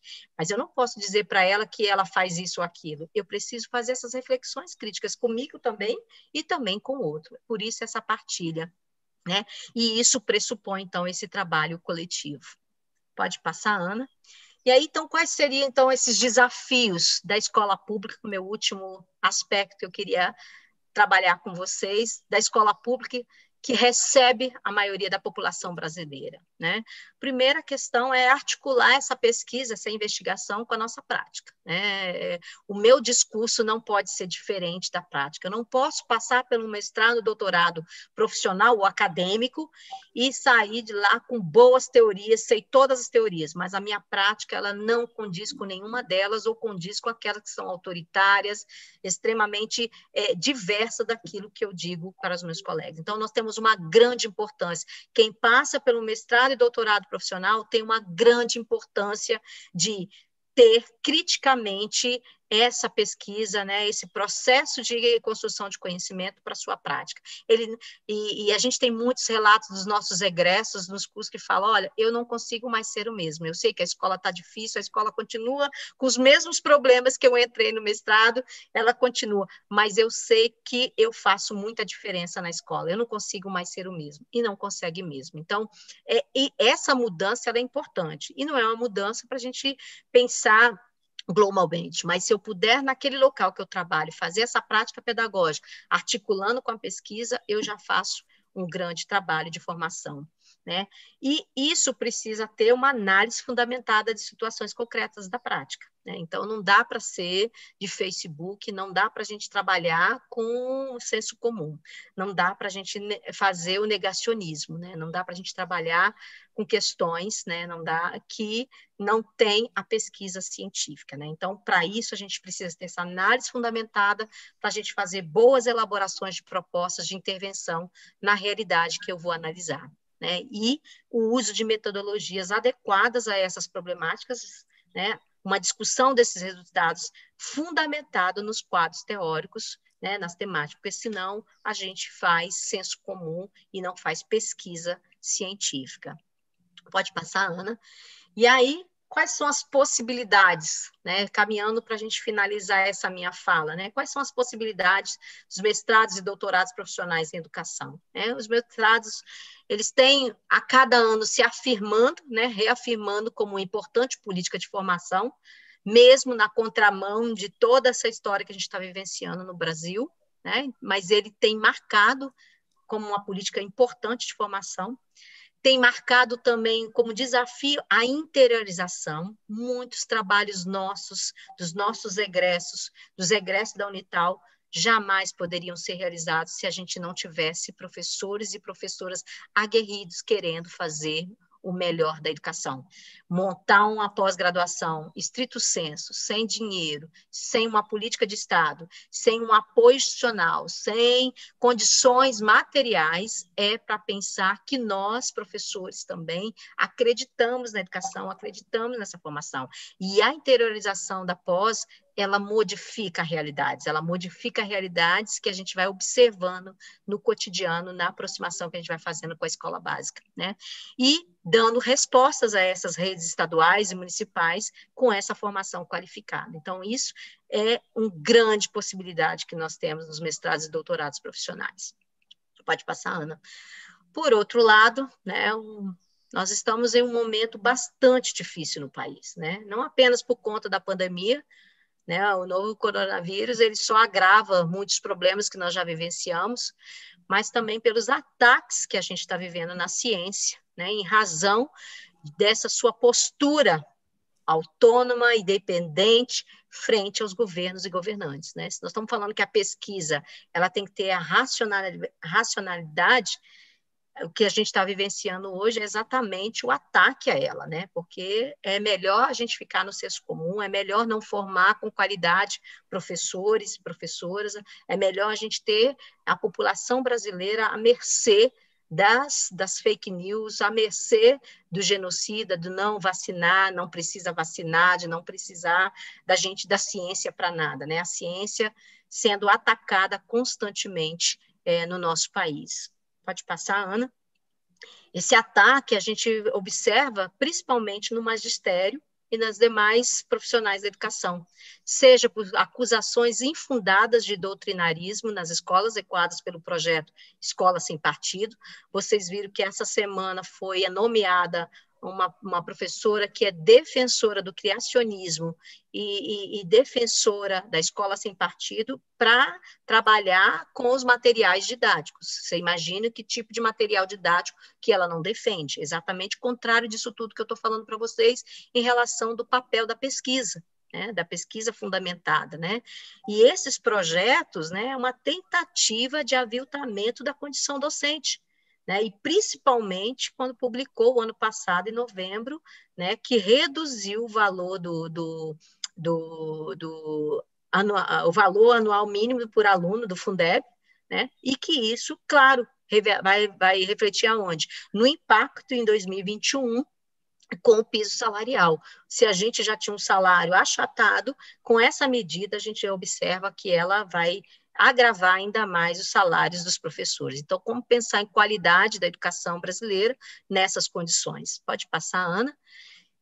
E, para a gente não deixar outra barbaridade, foi a PEC emergencial, que saiu essa semana, que a gente aí está na luta ainda, que congela até 2036 o salário dos servidores públicos, né, inclusive nossos salários, para quem está é, na educação básica e na educação superior pública, refletindo né, nesses salários e, consequentemente, a qualidade, né, entre outras barbaridades que a gente vem observando.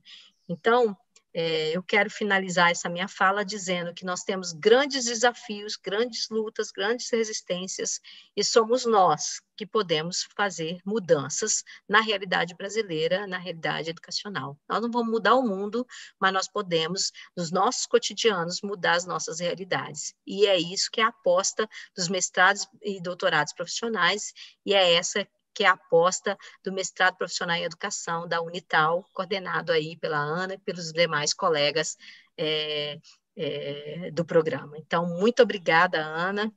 Eu finalizo aqui a minha fala e deixo aberto para as discussões. Obrigada. Obrigada a você, Emília. O chat estava fervendo, muito obrigada pela sua fala, muito contundente, muito incisiva, é, vai, vai, vai ao encontro e só reforça o que a gente tem é, discutido coletivamente aqui no mestrado profissional em educação. Muitíssimo obrigada, muitíssimo obrigada mesmo. Eu queria também registrar a presença da nossa pró-reitora, que, que entrou para assistir a sua palestra, tem alunos de Ilhéus, lá da UESC, tem pessoal que é da pedagogia, tem gente que é egresso ao programa, então, assim, está bem disputado, estamos com 116 pessoas, então, é, teve uma ótima repercussão a sua palestra. A gente poderia abrir para as pessoas e depois eu entro, que estiverem interessadas em fazer uma pergunta, é, e depois eu entro para fazer as minhas também, que a gente vai explorar bastante você, afinal de contas, okay. você já está aí, né? É, é, dando sopa, então vamos aproveitar ao máximo. Perfeito, pode ficar à vontade, gente. Então tá bom, podia organizar a, a Juliana, enquanto eu passava para você, a Juliana estava tava vendo as, as perguntas e alguém tinha feito aqui, ó, a gente tem gente de São José, Jacareí, Caraguá, esses são o litoral, do litoral do estado de São Paulo, Serra, Campos do Jordão, Cunha, então a gente tem gente de todos os lugares. Uh, deixa, deixa eu compilar aqui, então. Se algum professor quiser se manifestar, a Liliane estava dizendo que gostaria de, de, de, falar. Lili, você quer, você quer começar, então, enquanto eu já organizo aqui? Sim, quero sim. É, primeiro quero agradecer a Emília pela belíssima fala, é muito instigante, recheada de muitos elementos que nos fazem pensar no trabalho docente, nas nossas práticas pedagógicas no ensino superior. Acho que é, tem tudo a ver né, com as nossas preocupações pessoais e também com a estrutura do mestrado profissional em educação, né? Eu acompanhei um pouco o debate da construção dos mestrados profissionais é, na posição de estudante, mas nas, nas AMPEDs, né? No, nos debates que tiveram, tal, né? E aí eu fiquei, e assim, é, vou falar umas coisas e me perdoe se eu estiver um pouco desatualizada, né? Porque isso faz bastante tempo já agora que eu estou retomando, né? Esse, é, é, esse conhecimento, né? Sobre a estrutura da pós-graduação, né? É, naquela época, na época em que foram criados os mestrados profissionais, tinha uma proposta muito interessante que foi discutida bastante na Amped, que era o oferecimento de bolsa de mestrado pela CAPES para todos os estudantes, né? E também da criação de um PROAP específico para os MPEs, né? Que eu acho que essa é uma luta muito essencial, porque é, é quando você tem a nota 5, né, o, o, você tem o recurso, o PROAP, né, quando você é PROEX, então o recurso vem direto na, no, no, na, na, sua conta, né, na conta do mestrado, é, ou do doutorado, né, do programa, né, e eu achava muito interessante essa proposta de oferecer para os professores das escolas públicas uma bolsa no valor da bolsa de mestrado da CAPES, que deve estar em torno de R$ 1.700, se não me falha a memória, né? É, que é muito baixa, claro, mas que é um incentivo, né? E eu achava, é, e também algumas propostas de redução de carga horária, né, para que mantivesse o vínculo, mas que desse um espaço para a formação desses professores, né, que estão aí é, carregando o piano na escola pública, né. Aí eu queria saber de você como é que está esse debate e tal, né, se existe alguma perspectiva de aumento do financiamento, da oferta de bolsas para os estudantes, né, que eu acho, ah, eu achava muito interessante isso, né.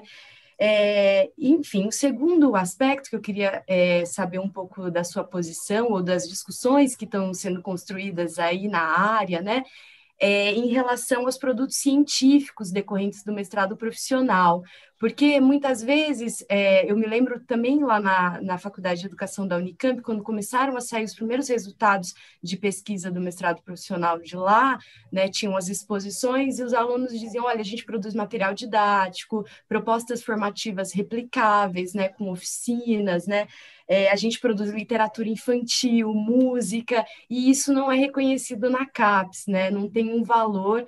Aí, assim, também posso estar desatualizada, me desculpe já de antemão, mas como é que está esse debate, né? Para, além, claro, da dissertação, né? Que é um, um exercício muito importante, científico, né? Da gente sistematizar as coisas, né? Mas do reconhecimento e valorização desses outros desses outros produtos, né, outras produções dos estudantes. É um pouco isso, mais uma vez prazer em conhecê-la, infelizmente é virtual, né? Queria poder te ver, mas é isso que temos aqui, né? Pelas condições sanitárias, e muito obrigada aí.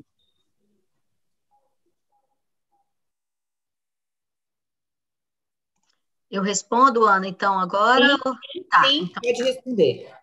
Tá certo. Liliana, obrigada. Eu acho que as, as, suas duas perguntas elas são pertinentes do ponto de vista de esclarecer para nós, assim, ó, e agora, onde nós estamos depois dessa trajetória toda que você nos coloca, Emília? Então, a primeira delas, sobre a questão de bolsas, do PROAP, é assim, é, quando a CAPES, lá em 2000, ela estava sendo é, chamada para essa responsabilidade, a grande discussão que se fazia era, então, a CAPES, ela regulamenta, regula a pós-graduação em nível profissional e faz acordos e convênios com os estados para que esses estados façam políticas estaduais de formação de professores, e aí, nessa perspectiva, eles produziriam, então, as bolsas, né, os financiamentos. Claro que é, quando a gente faz uma proposta com dinheiro dos outros, é muito debatido, né? Porque a primeira coisa que aconteceu foi os estados recuarem. Não, peraí, nossas políticas de estado nós fazemos, Nós já desenvolvemos políticas, né? A União tem, tem a necessidade de fazer isso e ela precisa prover. E nesse debate a gente perdeu, porque, na verdade, o que, que aconteceu? Na aposta de fazer convênios, a CAPES, então, regulamentou sem ter feito nenhuma, nenhuma é, proposta, porque também não é a CAPES que teria que trazer é, recursos, né? Na verdade, é a União, a partir do MEC, trazer esses recursos para prover os mestrados profissionais, mestrados e doutorados profissionais. E isso não aconteceu. Então, na verdade, desde a sua criação, lá em 2009, 2010, até hoje, esse é um grande debate que a gente faz, né, de que, olha, se regulamenta, se autoriza, mas não tem nenhuma verba própria. Então, como é que é feito essas autorizações? Os, as instituições precisam se comprometer e a mostrar na, na sua proposta para a CAPES como é que o programa vai se manter. Então, essa forma é mostrada por cada instituição. Então, cada instituição tem disputado, a partir dos seus coordenadores, é, um lugar ao sol, vamos dizer assim, né? é, dentro da instituição, porque também dentro da instituição tem os mestrados acadêmicos, doutorados acadêmicos né, que também disputam políticas institucionais internas. Então, nesse processo, a gente ainda está caminhando. Nós não temos perspectiva de PROAP, e com essa política que nós estamos vivendo econômica atual, menos ainda agora. Né? Então, não tem perspectiva de PROAP, e isso se, se voltou para cada instituição. Né? Um exemplo da nossa instituição, nós não temos PROAP, mas nós temos acordos desde que da nossa criação, porque nós somos o único mestrado em educação no interior da Bahia. Né? Nós estamos no em, nosso mestrado ele foi aprovado em 2012, nós começamos em 2013.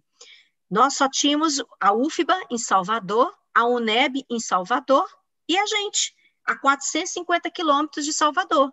Nós éramos o terceiro e o não, desculpa, e tínhamos o Ifeira de Santana que fica a 400 quilômetros daqui, que é do outro lado da Bahia, que tinha mestrados em educação. Quer dizer, nós, nós mostramos para a instituição o seguinte: olha, tudo bem, vocês querem dizer que tem mestrado em educação, então precisa nos dar condições. E a gente foi construindo essa política. Hoje nós somos reconhecidos dentro da instituição, nós disputamos bolsas internamente por sermos hum, quatro, como vocês são quatro também, quer dizer, ser quatro para CAPES exige um trabalho muito grande dos professores muito grande da coordenação, né? Para orquestrar tudo isso sem ter dinheiro, né? Sem ter verbas suficientes para poder gerir um, uma pós-graduação. Então, esse, esse, esse movimento a gente ainda não venceu, né? Então, essas políticas, por exemplo, as bolsas, de onde vêm as nossas bolsas hoje ainda? Na disputa das fundações estaduais né, que ficaram, que está cada vez diminuindo mais esse número de bolsas. E aí, como é que é a disputa? É individual. E é isso que é o perigoso, né? Porque aí, se não tiver um coordenador engajado, que compreenda isso para disputar a política, é, é, a gente acaba não, não conseguindo é, é, avançar e fica no campo individual, fica no campo da minha instituição. E isso é perigoso por uma política que a gente está falando de formação de professores, uma política de Estado que está previsto no Plano Nacional de Educação. Sobre a sua segunda questão, os produtos, né, no nosso programa a gente chama de produtos educacionais. Essa é uma grande questão que a gente já viu que a ficha nossa, ela já melhorou bastante. Mas mesmo assim, e como que melhorou? Né? É, a gente já conseguiu diminuir esse impacto de que tem que produzir, tem que fazer 20 artigos para poder ser um bom professor da pós-graduação. Não. Você precisa. O que é importante é um conjunto de, de, de, de, de produção acadêmica nossa, né, enquanto professores do ensino superior, que precisamos fazer. Primeira delas, nós precisamos ter projeto de pesquisa. Né? Não se faz, não faz produção científica se você não tem pesquisa, né? Porque a pesquisa ela vai te ajudar a te responder as questões a partir dos seus orientandos, a partir da sua imersão nas pesquisas, enfim. Né? E o segundo movimento é que na, você tem que ter o projeto de pesquisa que vai te ajudar nessa produção, você precisa estar atuando né, nas disciplinas, você tem que ter orientações e você tem que ter a publicação. Então, a publicação ela não é em si mesma o ponto final, ela é só o resultado desse trabalho que você realiza. E aí, qual foi a grande discussão que a gente fez? Olha, não precisa ter cinco produções a cada ano, não. Se o professor, uma, no ano, produz um artigo científico, qual é a questão de produzir um artigo científico e aí, nos quais, né, no caso, qualificados, né, ou seja, de A1 a, B, a B5. Qual, qual seria esse significado? Olha, nós temos que discutir isso no ponto de vista da produção do conhecimento e da sua democratização.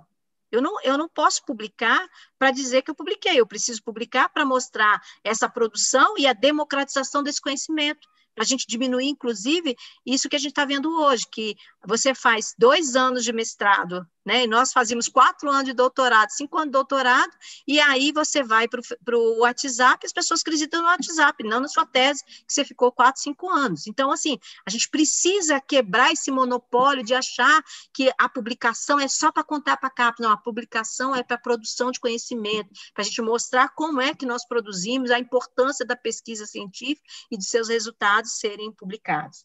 Então, e aí, no mestrado profissional, o que, que é importante a gente destacar, Liane e demais colegas, é que é, nenhum trabalho, por exemplo, você, você, citou literatura, você citou sequências didáticas, você citou formações, oficinas, nenhuma dessas produções, elas são possíveis se não a partir da construção de conhecimento, o quadro teórico-metodológico, né? porque senão vira tecnicismo, vira prática. E é isso que os nossos mestrandos, nossos doutorandos, os nossos egressos precisam é, compreender.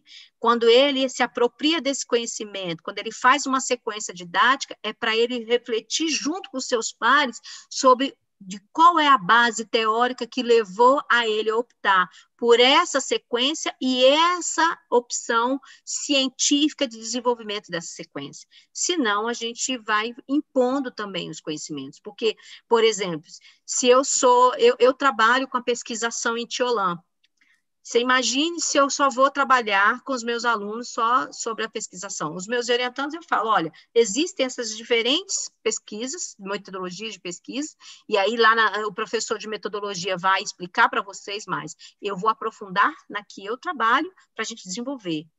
E aí a gente desenvolve juntos. Então, os meus mestrandos, eles já, eles já, já sabem, olha, eu trabalho nessa perspectiva, mas ele precisa ter esse conhecimento do todo. E é isso ele vai fazer como? Né? Nas disciplinas. E a gente precisa mostrar os, o quadro teórico-metodológico, senão também vira doutrinação. É, não, senão vira é, só, é só o meu conhecimento, só aquilo que eu me aproprio que, que é o mais importante. Não, há uma produção de conhecimento e essa produção de conhecimento eu preciso me apropriar dela. Esse é o grande desafio nos mestrados profissionais, porque no acadêmico eu me aproprio e apresento, por exemplo, uma, uma revisão de literatura e isso pode ser apresentado como um trabalho final no acadêmico. Para nós, no, no, profissional, não. Essa é só a primeira etapa. Agora, a partir dessa revisão de literatura, desse quadro teórico-metodológico, eu preciso fazer uma opção teórica de qual dessa teoria vai me ajudar a explicar a minha prática, ou minha sequência didática, a minha, a minha, a minha literatura, o meu, meu produto de literatura.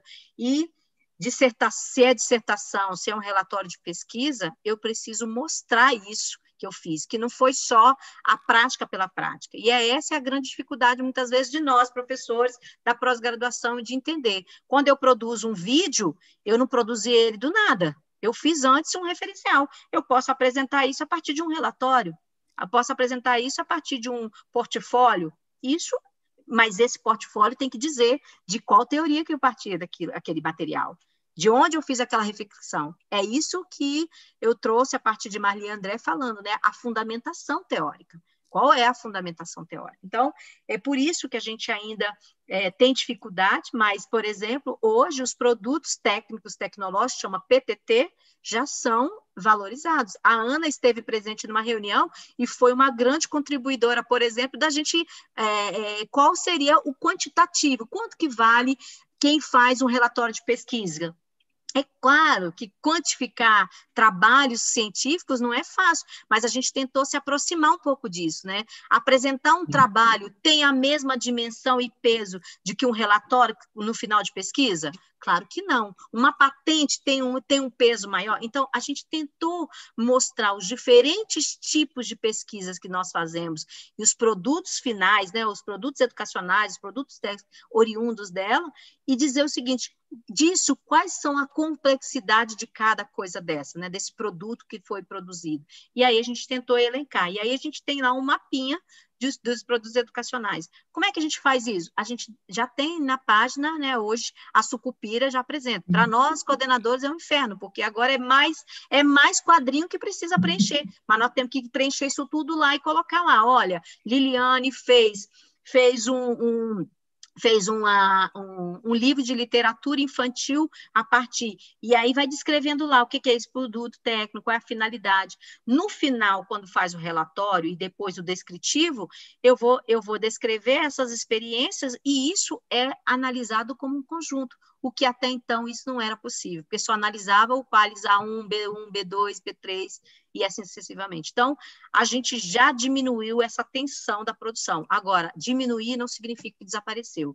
Nós, da pós-graduação, e esse é o nosso desafio, não só enquanto coordenadora, mas também enquanto professores, é avisar os nossos pares que a gente precisa produzir é, artigo científico. Precisamos participar de congressos, de eventos, porque isso é importante para os nossos alunos, inclusive, né, para eles conhecerem, verem que tem outras pessoas pesquisando o mesmo objeto que eu, mas numa outra perspectiva. Por exemplo, os meus alunos me perguntam demais, é, por que, que eu não pesquiso pesquisação em Barbier? E aí eu tenho que discutir com eles, por que, que eu opto por, por Tiolan e não por Barbier? Então, entende que é, é, um conjunto e que, quando eu falei que é um desafio nós também, que estamos na pós-graduação, é porque nós também precisamos compreender essa modalidade profissional. Nós trabalhamos com os professores que estão lá na escola básica, que esse tal de qualis, esse tal de produção em artigo científico é muito longe, mas ele precisa entender que esse longe tem que se aproximar, nós não podemos estar distante.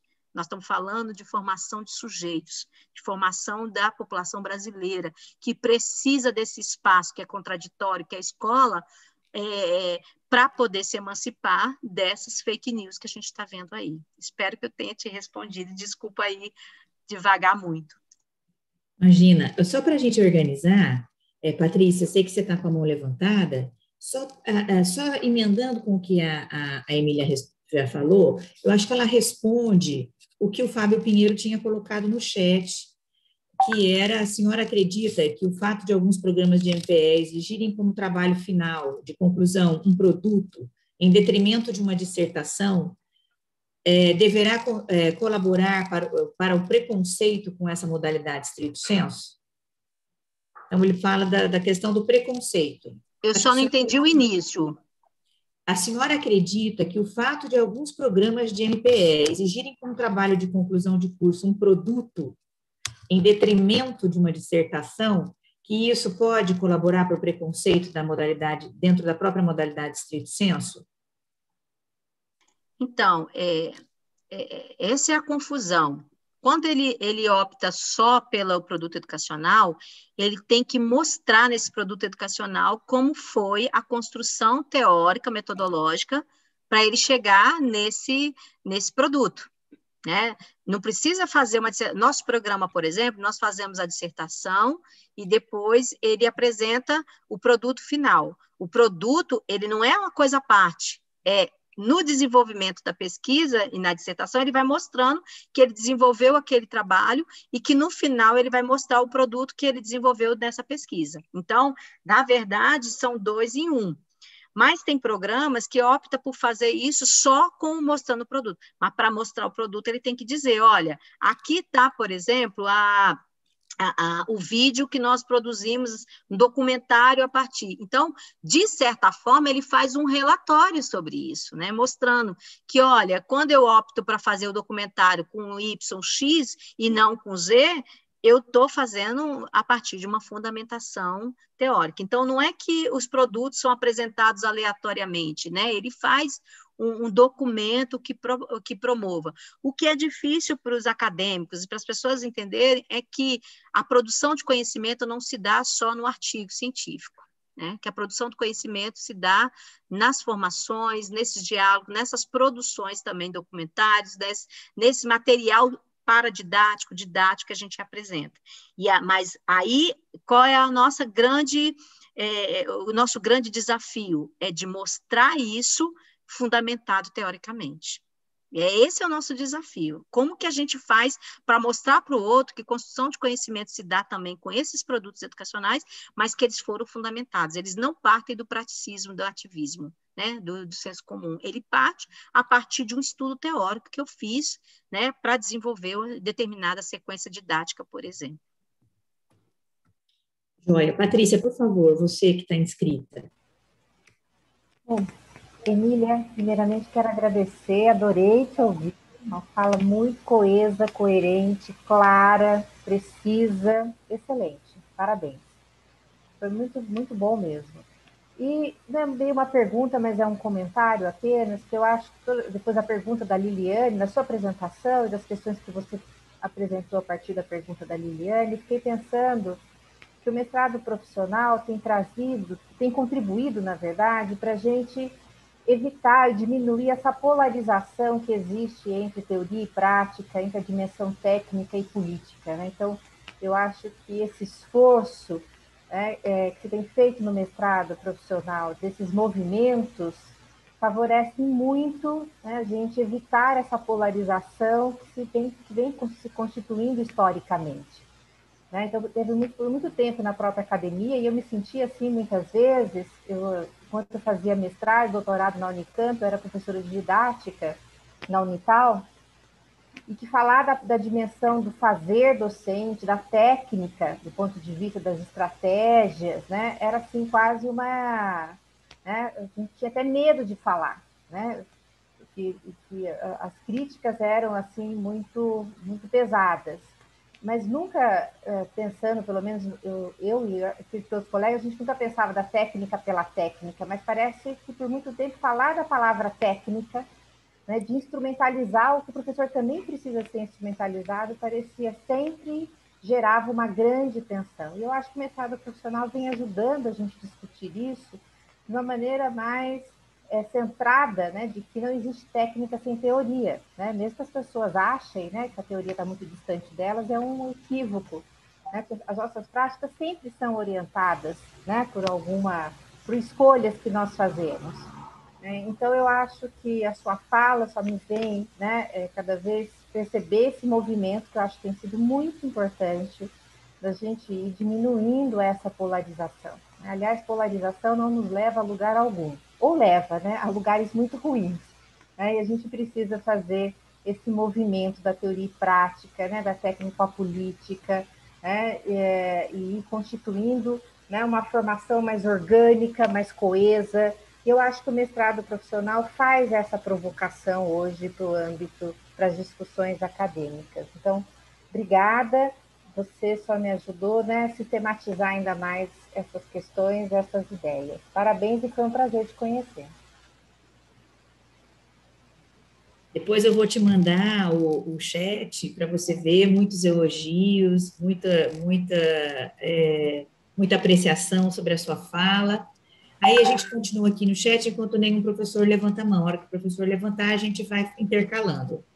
É, professora Emília, voltamos tá. à questão da qualidade da pós e do mestrado em si, só aprendemos a pesquisar quando temos ótimos professores nesses cursos? É correto? Está correto isso? Oh, está parecendo mais aquelas perguntas, né? Pegadinhas, né? É, roda viva, roda viva. É, eu acho que isso, é, acho não, né? Eu penso que isso vale para qualquer profissão, né? Nós precisamos estudar também, né? É, quando a gente, a cada, a cada aluno, aluna que a gente pega no mestrado, é um parto para nós também, né? Porque a gente precisa estudar, a gente precisa. É, quando eu falei lá dos desafios nossos de aproximação da escola e aproximação desse profissional, é a gente também ter é, clareza que a nossa relação com esse sujeito não pode ser uma relação é, é, hierárquica autoritária, né? Porque são do... nós estamos falando com profissionais da educação. Né? Nós estamos falando, a hierarquia que está é que eu estou na pós-graduação e ele está na educação básica. Mas ele traz conhecimentos, né? Ele tem conhecimentos, né? Que são importantes para as nossas reflexões, né? Quantos de nós, às vezes, a gente escuta algumas coisas dos nossos orientandos e fala, opa, peraí, isso aí é importante, né? A gente, às vezes, não quer admitir, né? Porque também esse lugar nosso é muito difícil, né? Que é um lugar em que a disputa também está clara nesse processo, né? Mas não existe essa coisa de que no mestrado profissional, doutorado ou acadêmico precisa ter bons ou maus professores. Não, precisam ter professores que queiram realmente, né? A profissão docente, um dos aspectos mais importantes dela é desse sujeito querer pensar no outro enquanto humano, que é uma relação humana, né? Enquanto relação humana, eu penso, o outro também pensa. Né? Eu posso ter algum. Quando eu falo do senso comum, não é no sentido pejorativo, é no sentido em que eu preciso instrumentalizar esse sujeito, e aí não é nesse sentido, a Patrícia tem razão do medo que a gente utiliza o termo técnico, instrumentalizar, parece que a gente está sendo tecnicista, não, a gente precisa ter habilidades. Para ter habilidades, significa que a gente precisa ter domínio daquilo que eu faço. Então, eu não posso. Eu gosto muito dessa expressão do Paulo Freire, quando ele dizia o seguinte: olha, o professor precisa ser humilde, mas ser humilde não é ser omisso e ignorante. Né? Eu não posso o tempo todo, olha, gente, pela minha humildade eu não sei isso, tá? Eu vou procurar, vou pesquisar. E aí repetidamente eu digo para o meu aluno que eu não sei aquilo e vou pesquisar. Olha, se eu não tenho domínio daquilo que eu faço, isso não é humildade, isso é incompetência do meu trabalho. Né? Então, a importância não é só na pós-graduação, no ensino superior, na educação básica. Né? Eu tenho que me apropriar daquilo, né? E, e, me apropriar daquilo que eu faço é eu conhecer quem é o sujeito com quem eu trabalho. Né? Na escola básica, eu costumo ser muito crítica nas, nas na, naquela, naquele encontro semanal, eu esqueço como é que é que chama, a semana pedagógica, né, que está arrumando, né? Como é que é a semana pedagógica? Você já planeja tudo que você vai fazer com o aluno. Você nem sabe quem é que vem para você, já está planejando tudo. Então, para mim, isso é um, um horror assim como no ensino superior. Eu vou preparar minha aula, claro que eu vou preparar conteúdos do que eu preciso da disciplina, mas como vai ser o ritmo disso, eu preciso conhecer com quem eu vou trabalhar, eu preciso dialogar com as pessoas que eu vou trabalhar, né? No ensino, no, na pós-graduação também. Então, não existe esse espaço de tem que ser bom, ruim. Nós precisamos ser comprometidos com aquilo que a gente faz. Né? Se a gente quer uma qualidade da educação, para mim, a qualidade da educação perpassa pela emancipação dos sujeitos, pela emancipação da educação. E, para isso, eu preciso que o outro compreenda que a construção do conhecimento é para emancipar e não para aprisionar. Muito bom. Pessoal elogiando, começamos de forma arrebatadora com essa, com essa formação. A professora é, soma a voz da gente, muito bom saber que existem vozes semelhantes à nossa, ao que nós acreditamos, não profissionalizante, sim profissional. A Rosilene faz uma, uma, uma questão, aponta uma questão que é como a aproximação da universidade com as escolas públicas pode ser mais rápido se considerarmos que o número de professores das redes públicas que não trabalham em prefeituras, que têm é, é, providências, é, previdências próprias e que não conseguem pagar um mestrado com seu próprio salário, principalmente nos interiores do país. Então, é um, é um, é um problema sério mesmo, a gente tem essa, essa dificuldade, né? Se você quiser comentar sobre isso. Enaltecendo aqui, Débora fala sobre articulação entre teoria e prática, é o grande desafio que fará toda a diferença, isso reverbera para uma educação de qualidade, e é, ótimas reflexões. A gente também, foi bom você falar sobre Tiolan, sobre Barbier, sobre a pesquisação, a gente tem também é, provocado e se, e se sentindo provocado aqui por pesquisa intervenção, pesquisa formação, como vai ser batizada, como vai ser trazida, então é, é colaborativa, não é colaborativa, em que grau ela está sendo colaborativa. Então, nós estamos num, num momento de, de, de, bastante reflexão sobre esse tipo de, é, de pesquisa, e aí tendo um corpo, agora crescendo com um corpo de, de trabalhos que estão se envolvendo diretamente na pesquisa que tem gerado formação ou intervenção e tal.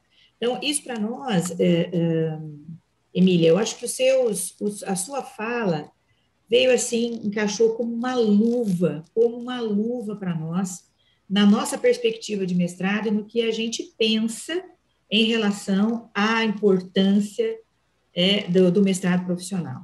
E a visibilidade que a gente tem é, adquirido aqui na região, eu acho, por conta desse mestrado profissional, que agora faz sentido, porque nós começamos ainda com uma, um pensamento que as pessoas da primeira turma, Luciana é da primeira turma, ficavam, nossa, mas nós somos profissional, é menos do que o acadêmico, e as pessoas do acadêmico falam, ah, mas nós somos acadêmicos, vocês são profissionais. Mas ninguém tinha, na verdade, clareza sobre o que isso era em 2014, quando começa o fórum, quando começam mesmo essas discussões, que já vinham também de preconceito, como você mesmo trouxe historicamente, dentro da própria academia.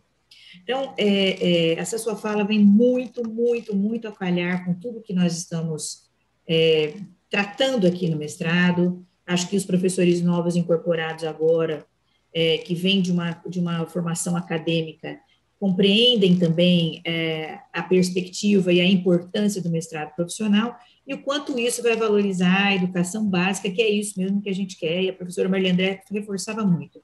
Nós precisamos fazer pesquisa perguntando ao real.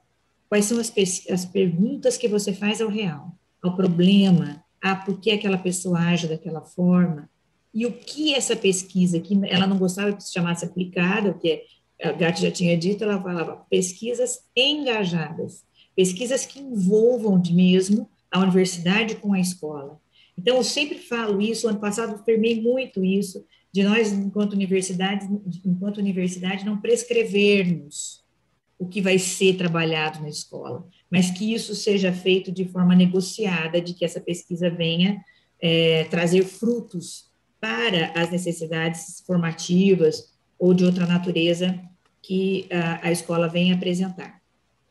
Um, Ana, comentando um pouco, eu queria falar duas questões que acho que são que é muito importante para nós a partir da sua fala, que eu tinha esquecido, que eu queria ressaltar nesse momento. A primeira dela é em relação à visibilidade, né? É, a, a grande discussão também é que nós temos um privilégio de estar diretamente relacionado né, com a educação básica, com os professores da educação básica, né? No acadêmico, né, aparece os professores, tem professores que vão fazer o mestrado, doutorado em acadêmico, mas não é uma prerrogativa. Nos nossos mestrados, doutorados, a gente vai ter esse, é, é, é, é para eles que a gente faz esse mestrado, esse doutorado, né? Então, essa é uma visibilidade muito boa que faz com que a gente esteja perto da escola. É por isso que você vai vendo ao longo do tempo o impacto que o, a pós-graduação da Unital faz na região, porque faz a diferença. Depois que ele sai do, da pós-graduação, é, é, é, respondendo um pouco que a, a pessoa me perguntou se é, o professor é bom ou ruim, ele não, não, não, não é mais o mesmo, porque ele precisa lidar com situações que ele vivia cotidianamente que antes ele não percebia. Né? E agora, a partir da pesquisa, ele vai, ele vai podendo observar isso, e essa visibilidade vai modificando a escola. Né? Então, a visibilidade é, dos mestrados e doutorados profissionais está nessa aproximação nossa, que é forçada do ponto de vista positivo, mas que nos faz também ter que fazer essa reflexão junto com esses profissionais. O segundo aspecto da, da, da implicação é essa relação importante né? porque os, os, alunos profissionais, eles já chegam como se fosse na formação que faz, quando o município oferece, quando a rede oferece, que é assim, ele já acha que ele vai se apropriar de uma metodologia do seu orientador e que ele já vai levar para a escola e já vai fazer uma formação, que ele vai mudar a escola, os professores, e aí ele esquece que da mesma forma que ele chegou lá na escola, aqueles sujeitos estavam também daquela forma, né? E que é, é, é, essa transposição, ela não pode ser mecânica e automática, porque o outro também é um sujeito que pensa, que também tem reflexões, que também ele só não teve a oportunidade de estar ainda no mestrado, mas ele também traz boas contribuições para a escola. Então, é, desmistificar isso também com os alunos do mestrado e doutorado é muito importante nosso papel enquanto professores, porque senão a gente vai fazer aquelas reproduções de formação que as redes fazem, né? Eu vou lá, contrato um professor bacana, pago ele bem, ele vai lá e fala, faz bonito, fala bonito, e depois ele, ó, oh, tchau, gente, e aí a, o abacaxi está na mão de quem? Das coordenadoras pedagógicas dentro da escola, na coordenadora que está na secretaria, na própria secretária de educação. Então, essa é a dimensão e visibilidade e importância que nós temos, né? De mostrar que construir qualidade da educação básica é construir cotidianamente com reflexões fundamentadas. E que isso necessita eu sair desse pedestal, que eu, ah, eu sou agora mestre em educação, eu sou. Né? Não, você é alguém que se apropriou de conhecimentos importantes, que tem que, que elaborou uma proposta de formação, mas que o outro precisa fazer parte e ser implicado também, como eu fui implicada. Então, estar na pós-graduação é se implicar, mas é também é, implicar o outro.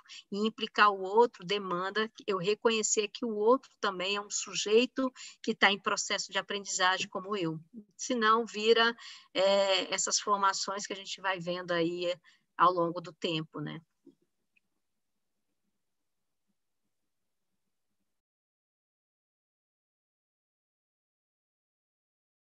Acho que Neuza, Neuza acho que levantou a mãozinha ali, ó. Tô vendo aqui embaixo. Ana, seu microfone está fechado, o microfone da Ana Calil. Pode ir, Neuza, por favor. Eu não tinha visto a mãozinha da Neuza. Obrigada. Abri, eh, eu gostaria, né, primeiro de agradecer a professora Emília eh, e dizer da da felicidade na escolha dessa temática, né, Ana, dessa discussão de hoje, é, eu acho que isso é extremamente importante, porque é, os mestrandos que estão começando hoje, eles podem ter uma clareza maior sobre esse espaço, né, onde eles estão entrando, o que nós estamos fazendo aqui, né, qual é a, a perspectiva e quais são as possibilidades desse nosso trabalho durante esses dois anos nesse espaço, né? Então, uh, gostaria de cumprimentar a professora Emília, foi muito importante realmente né, essa, a, a, essa discussão sobre a, a, perspectiva e as possibilidades do mestrado em educação, do mestrado profissional em educação, uh, tornando mais claros para nós, uh, todos, né, que já estamos aqui, para quem está chegando, o que é esse espaço de produção de conhecimento, né, e para que nós estamos produzindo esse conhecimento. Eu acho extremamente interessante essa essa perspectiva de olhar a escola e os professores não como objeto de estudo, mas como parceiros na produção desse conhecimento, nós temos, Ana, eu, Patrícia e tantos outros aqui colegas, ao participar de congressos fora do país, hoje nós temos o professor né, nas mesas, junto com o pesquisador, dando conta né, da, daquele conhecimento produzido, apresentando, e também é interessante pensar que o, essa discussão sobre a relevância ou não do mestrado profissional, que ainda, eu acredito que ainda é forte aqui no Brasil, eu me lembro de um último Edúcere que a Marli André estava, em que ainda se questionava, né, mas é, é, o mestrado profissional é, ele vai produzir conhecimento relevante, isso faz dois anos, não é uma coisa, né, é uma coisa recente. É, então, é, esse espaço importante de produção de conhecimento, né? É, e que e, e, essa pesquisa comprometida com a transformação da prática, o que não a, a torna menos relevante como pesquisa. Pelo contrário, eu acho que é mais difícil né, você pesquisar a prática e produzir conhecimentos a partir da prática, comprometido com a transformação dessas práticas. Né? Então, eu gostaria de cumprimentar a professora e a coordenação aí pela, pela discussão, pela oportunidade dessa discussão. Né? Eu acho que quando você começa um trabalho, é, é extremamente relevante você pensar nisto. O que eu estou fazendo aqui? Para quê? Né? Por que nós estamos aqui? Que espaço é esse? Então, acho que isso tornou mais claro para nós esse espaço, né? É, e eu gostaria aí de agradecer a professora Emília aí pela, pelos esclarecimentos e pela fala. Obrigada, Neuza. A gente segue aqui Obrigada, com elogios, mil elogios aqui no chat e o Cristóvão está com a mão levantada. Cristóvão, por favor. É, é, professora Emília, eu quero agradecer a sua participação e dizer que eu fiquei assim muito contente, né? E em ver, eu tinha visto uma fala sua no congresso da, da, lá da Universidade Federal da Bahia e acho que só me reforçou a admiração por você. E quero agradecer também, Emília, por você ter feito esse histórico né, tão interessante né, da, das perspectivas do mestrado profissional, tá? porque isso traz para o nosso aluno, né, para o ingressante, para aquele que está dentro do programa, até para aquele que está deixando o programa, uma clareza de como que isso se deu eh, e com todas as dificuldades que nós temos né, para que se possa fazer formação de qualidade. Né? E o inter interessante que eu vivi uma parte disso, inclusive com a professora Marli André, quando ela estava propondo o mestrado profissional lá de formação de formadores na PUC, tá, das dificuldades que ela enfrentou com a equipe e depois de algumas preocupações que eu fui para umas, algumas bancas né, dos primeiros egressos lá do formação de formadores e a professora Marli ela contava né, da preocupação que ela tinha com a, a, o trabalho né, com os resultados que eh, a passagem daquele pesquisador, daquele profissional dentro do mestrado estava revertendo. Tá? E eram muitas as dúvidas que ela tinha que dividia conosco. Né? Então, foi um período de aprendizado muito grande. E eu vi retratando isso na sua fala. Né? E penso eu que, a partir de hoje, eu, como professor, imagino que os colegas e também uh, os alunos né, que nós temos dentro do programa e os que estão chegando, eles conseguiram ver com um pouco mais de clareza a importância que tem nesse espaço de formação. Eu passei uma vida inteira dentro da escola básica, né, dentro da educação básica, e sei como ninguém como é importante né, você ter espaços e arenas para poder refletir, para poder pensar, tá? e pensar com o outro, né, que eu acho que é esse espaço né, que é primordial que nós temos, tá? de pensar junto, né, de pensar com, e isso pode ser feito dentro da escola, dentro do lugar de onde você está saindo, e pode ser feito com as parcerias que você vai constituindo nesse espaço de formação que é o mestrado. E a sua fala trouxe isso muito bem.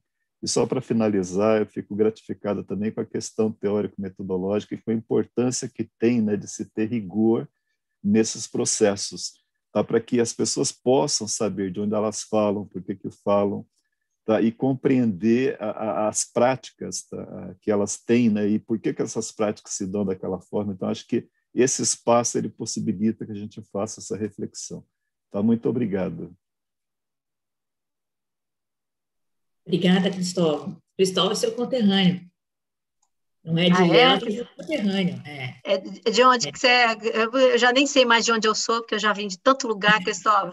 É, eu também já passei demais, tá? mas eu sou da, do, do Agreste aí, próximo ah, de Jequié, de Milagre. Ah, de Jequié, do meu ladinho aqui. É. é meu conterrâneo, sim, é meu conterrâneo. Pois é, é próximo de... Apesar de estar distante, mas ah, agora com a pandemia não posso estar voltando, né? mas é. tenho irmã, irmãs que moram, uma em Salvador ah, e outra então, ainda no interior. Quando, quando voltar a Jequié, dar uma passadinha, porque Jequié, se a gente vier pelo, pela 101, você passa primeiro por Ilhéus e será bem-vindo uhum. nos visitar. Tá certo, obrigado.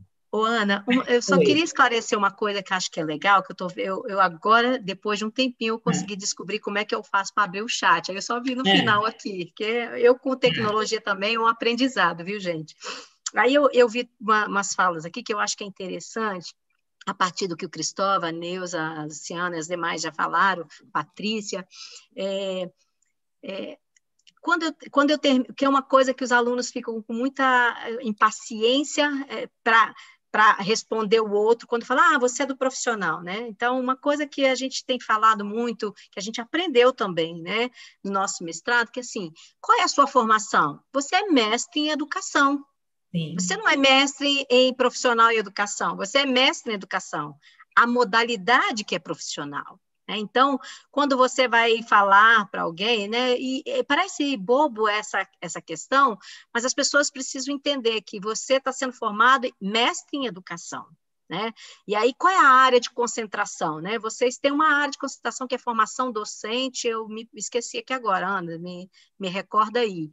Né? A área de concentração, é, é ou seja, é, é qual o olhar que aquele programa, aquele curso faz para desenvolver, porque tem programas que, por exemplo, vou dar o um exemplo da UFPB, da, da Paraíba, que é a Edneide, que é a nossa amiga, é, é. coordena. Deles lá é um mestrado em profissional em educação, mas voltado para a formação de funcionários das universidades né, qualificar o quadro da universidade. Não que eles não trabalhem com, com a educação básica, mas ele, a área de concentração. Então, o nosso, por exemplo, a área de concentração é formação de professores. Não, não significa é. que a gente não trabalha com. Nós temos é, funcionários da universidade que desenvolvem trabalhos ligados à educação básica, e isso a gente exige, tem que ser vou, olhando por esse olhar da educação básica, mas eu só queria ressaltar que a formação é mestre em educação. Sim. Tá? Então, para que as pessoas não, não, não, não, percam o estrito senso que é o nosso diferencial. Nós não fazemos especial, porque pós-graduação todo mundo fala, né? Mas pós-graduação, lato senso não é pós-graduação. Vamos, vamos separar. Lato senso é especialização que a gente fala, né? Então, a gente quer colocar na mesma, no mesma cesta tudo, né? E achar que tudo é pós-graduação. Não. Especialização tem uma característica, a pós-graduação, estrito senso, ela tem outra característica, e nós estamos formando mestre em educação, na modalidade profissional. Ótimo, ótimo. Você quer responder ao chat, então? Você já vai selecionando aí? Eu, eu, eu só olhei rapidamente, eu não consigo fazer duas coisas ao mesmo tempo. A gente está aqui no adiantamento, no, um pouco adiantado na hora, mas tem aqui, Luiz Almeida fala, Professora, acredito que o mestrado e o doutorado precisam estar em articulação, parceria com as escolas básicas, mas Nova diz que as universidades continuam fechadas nas suas fronteiras, com pouca capacidade para dialogarem com os professores e para se comprometerem com as escolas públicas. Ele está certo? Parabéns pela apresentação, muito obrigada. Eu não gosto muito desse negócio, tá certo, tá errado, é, é alto, baixo, branco. Não, peraí, é, é complexo. A universidade, eu gosto muito de, da, de, da história para nos explicar as coisas, e eu gosto muito para entender. Né? Na verdade, a universidade ela não foi feita realmente para os normais, né? para, o, para o povo. Né? Não é essa característica. No Brasil, ela tem essa característica. É, de só a partir dos anos 80 que ela começa a se abrir para a população. É verdade que entrar na universidade pública não foi algo é, tão simples assim e nem tem essa característica. E a, o mestrado profissional, a sua exigência foi exatamente essa aproximação mesmo com a escola básica, né? Essa tentativa de falar assim, olha, não dá para a gente virar as costas, né? Mas isso não quer dizer que é, isso é, é característico e é assim que acontece, né? É verdade. Por isso que eu falei que um dos desafios nossos, da no, nós, enquanto professores da pós-graduação, mestrado profissional, é, é, é o nosso perfil, que o nosso perfil é acadêmico no sentido de fazer pesquisa científica. Mas essa pesquisa científica agora ela precisa ter o olhar para a escola básica, para os profissionais de educação básica. Então, também um aprendizado nosso, esse olhar. Agora, essa aproximação ela é, ela é histórica, né? ela é política, ela tem, ela tem os seus recortes é, históricos e políticos que vão delineando essa, essa sua aproximação. Agora, é verdade da, da dificuldade que a, que a universidade tem se aproximar. E quando eu falo universidade, eu estou falando a pública, eu estou falando a particular, eu estou falando as conveniadas, as municipais, eu estou falando de, de nós que atuamos no ensino superior. Né? A, sua, a sua característica ela é esse distanciamento. E aí cabe a nós que estamos atuando na pós-graduação é, profissional, principalmente, né? Estou falando desse lugar nosso, dessa aproximação, né? E, e para a gente poder modificar essa realidade. Ótimo. A Nena queria falar mais uma palavrinha, e aí, se ninguém mais é, for, for mencionar, a gente vai encerrando, porque nós já estamos um adiantado da hora hoje. Professora Emília, obrigada pela sua colaboração, mais uma vez, assim, exaltando a sua fala e as suas ponderações.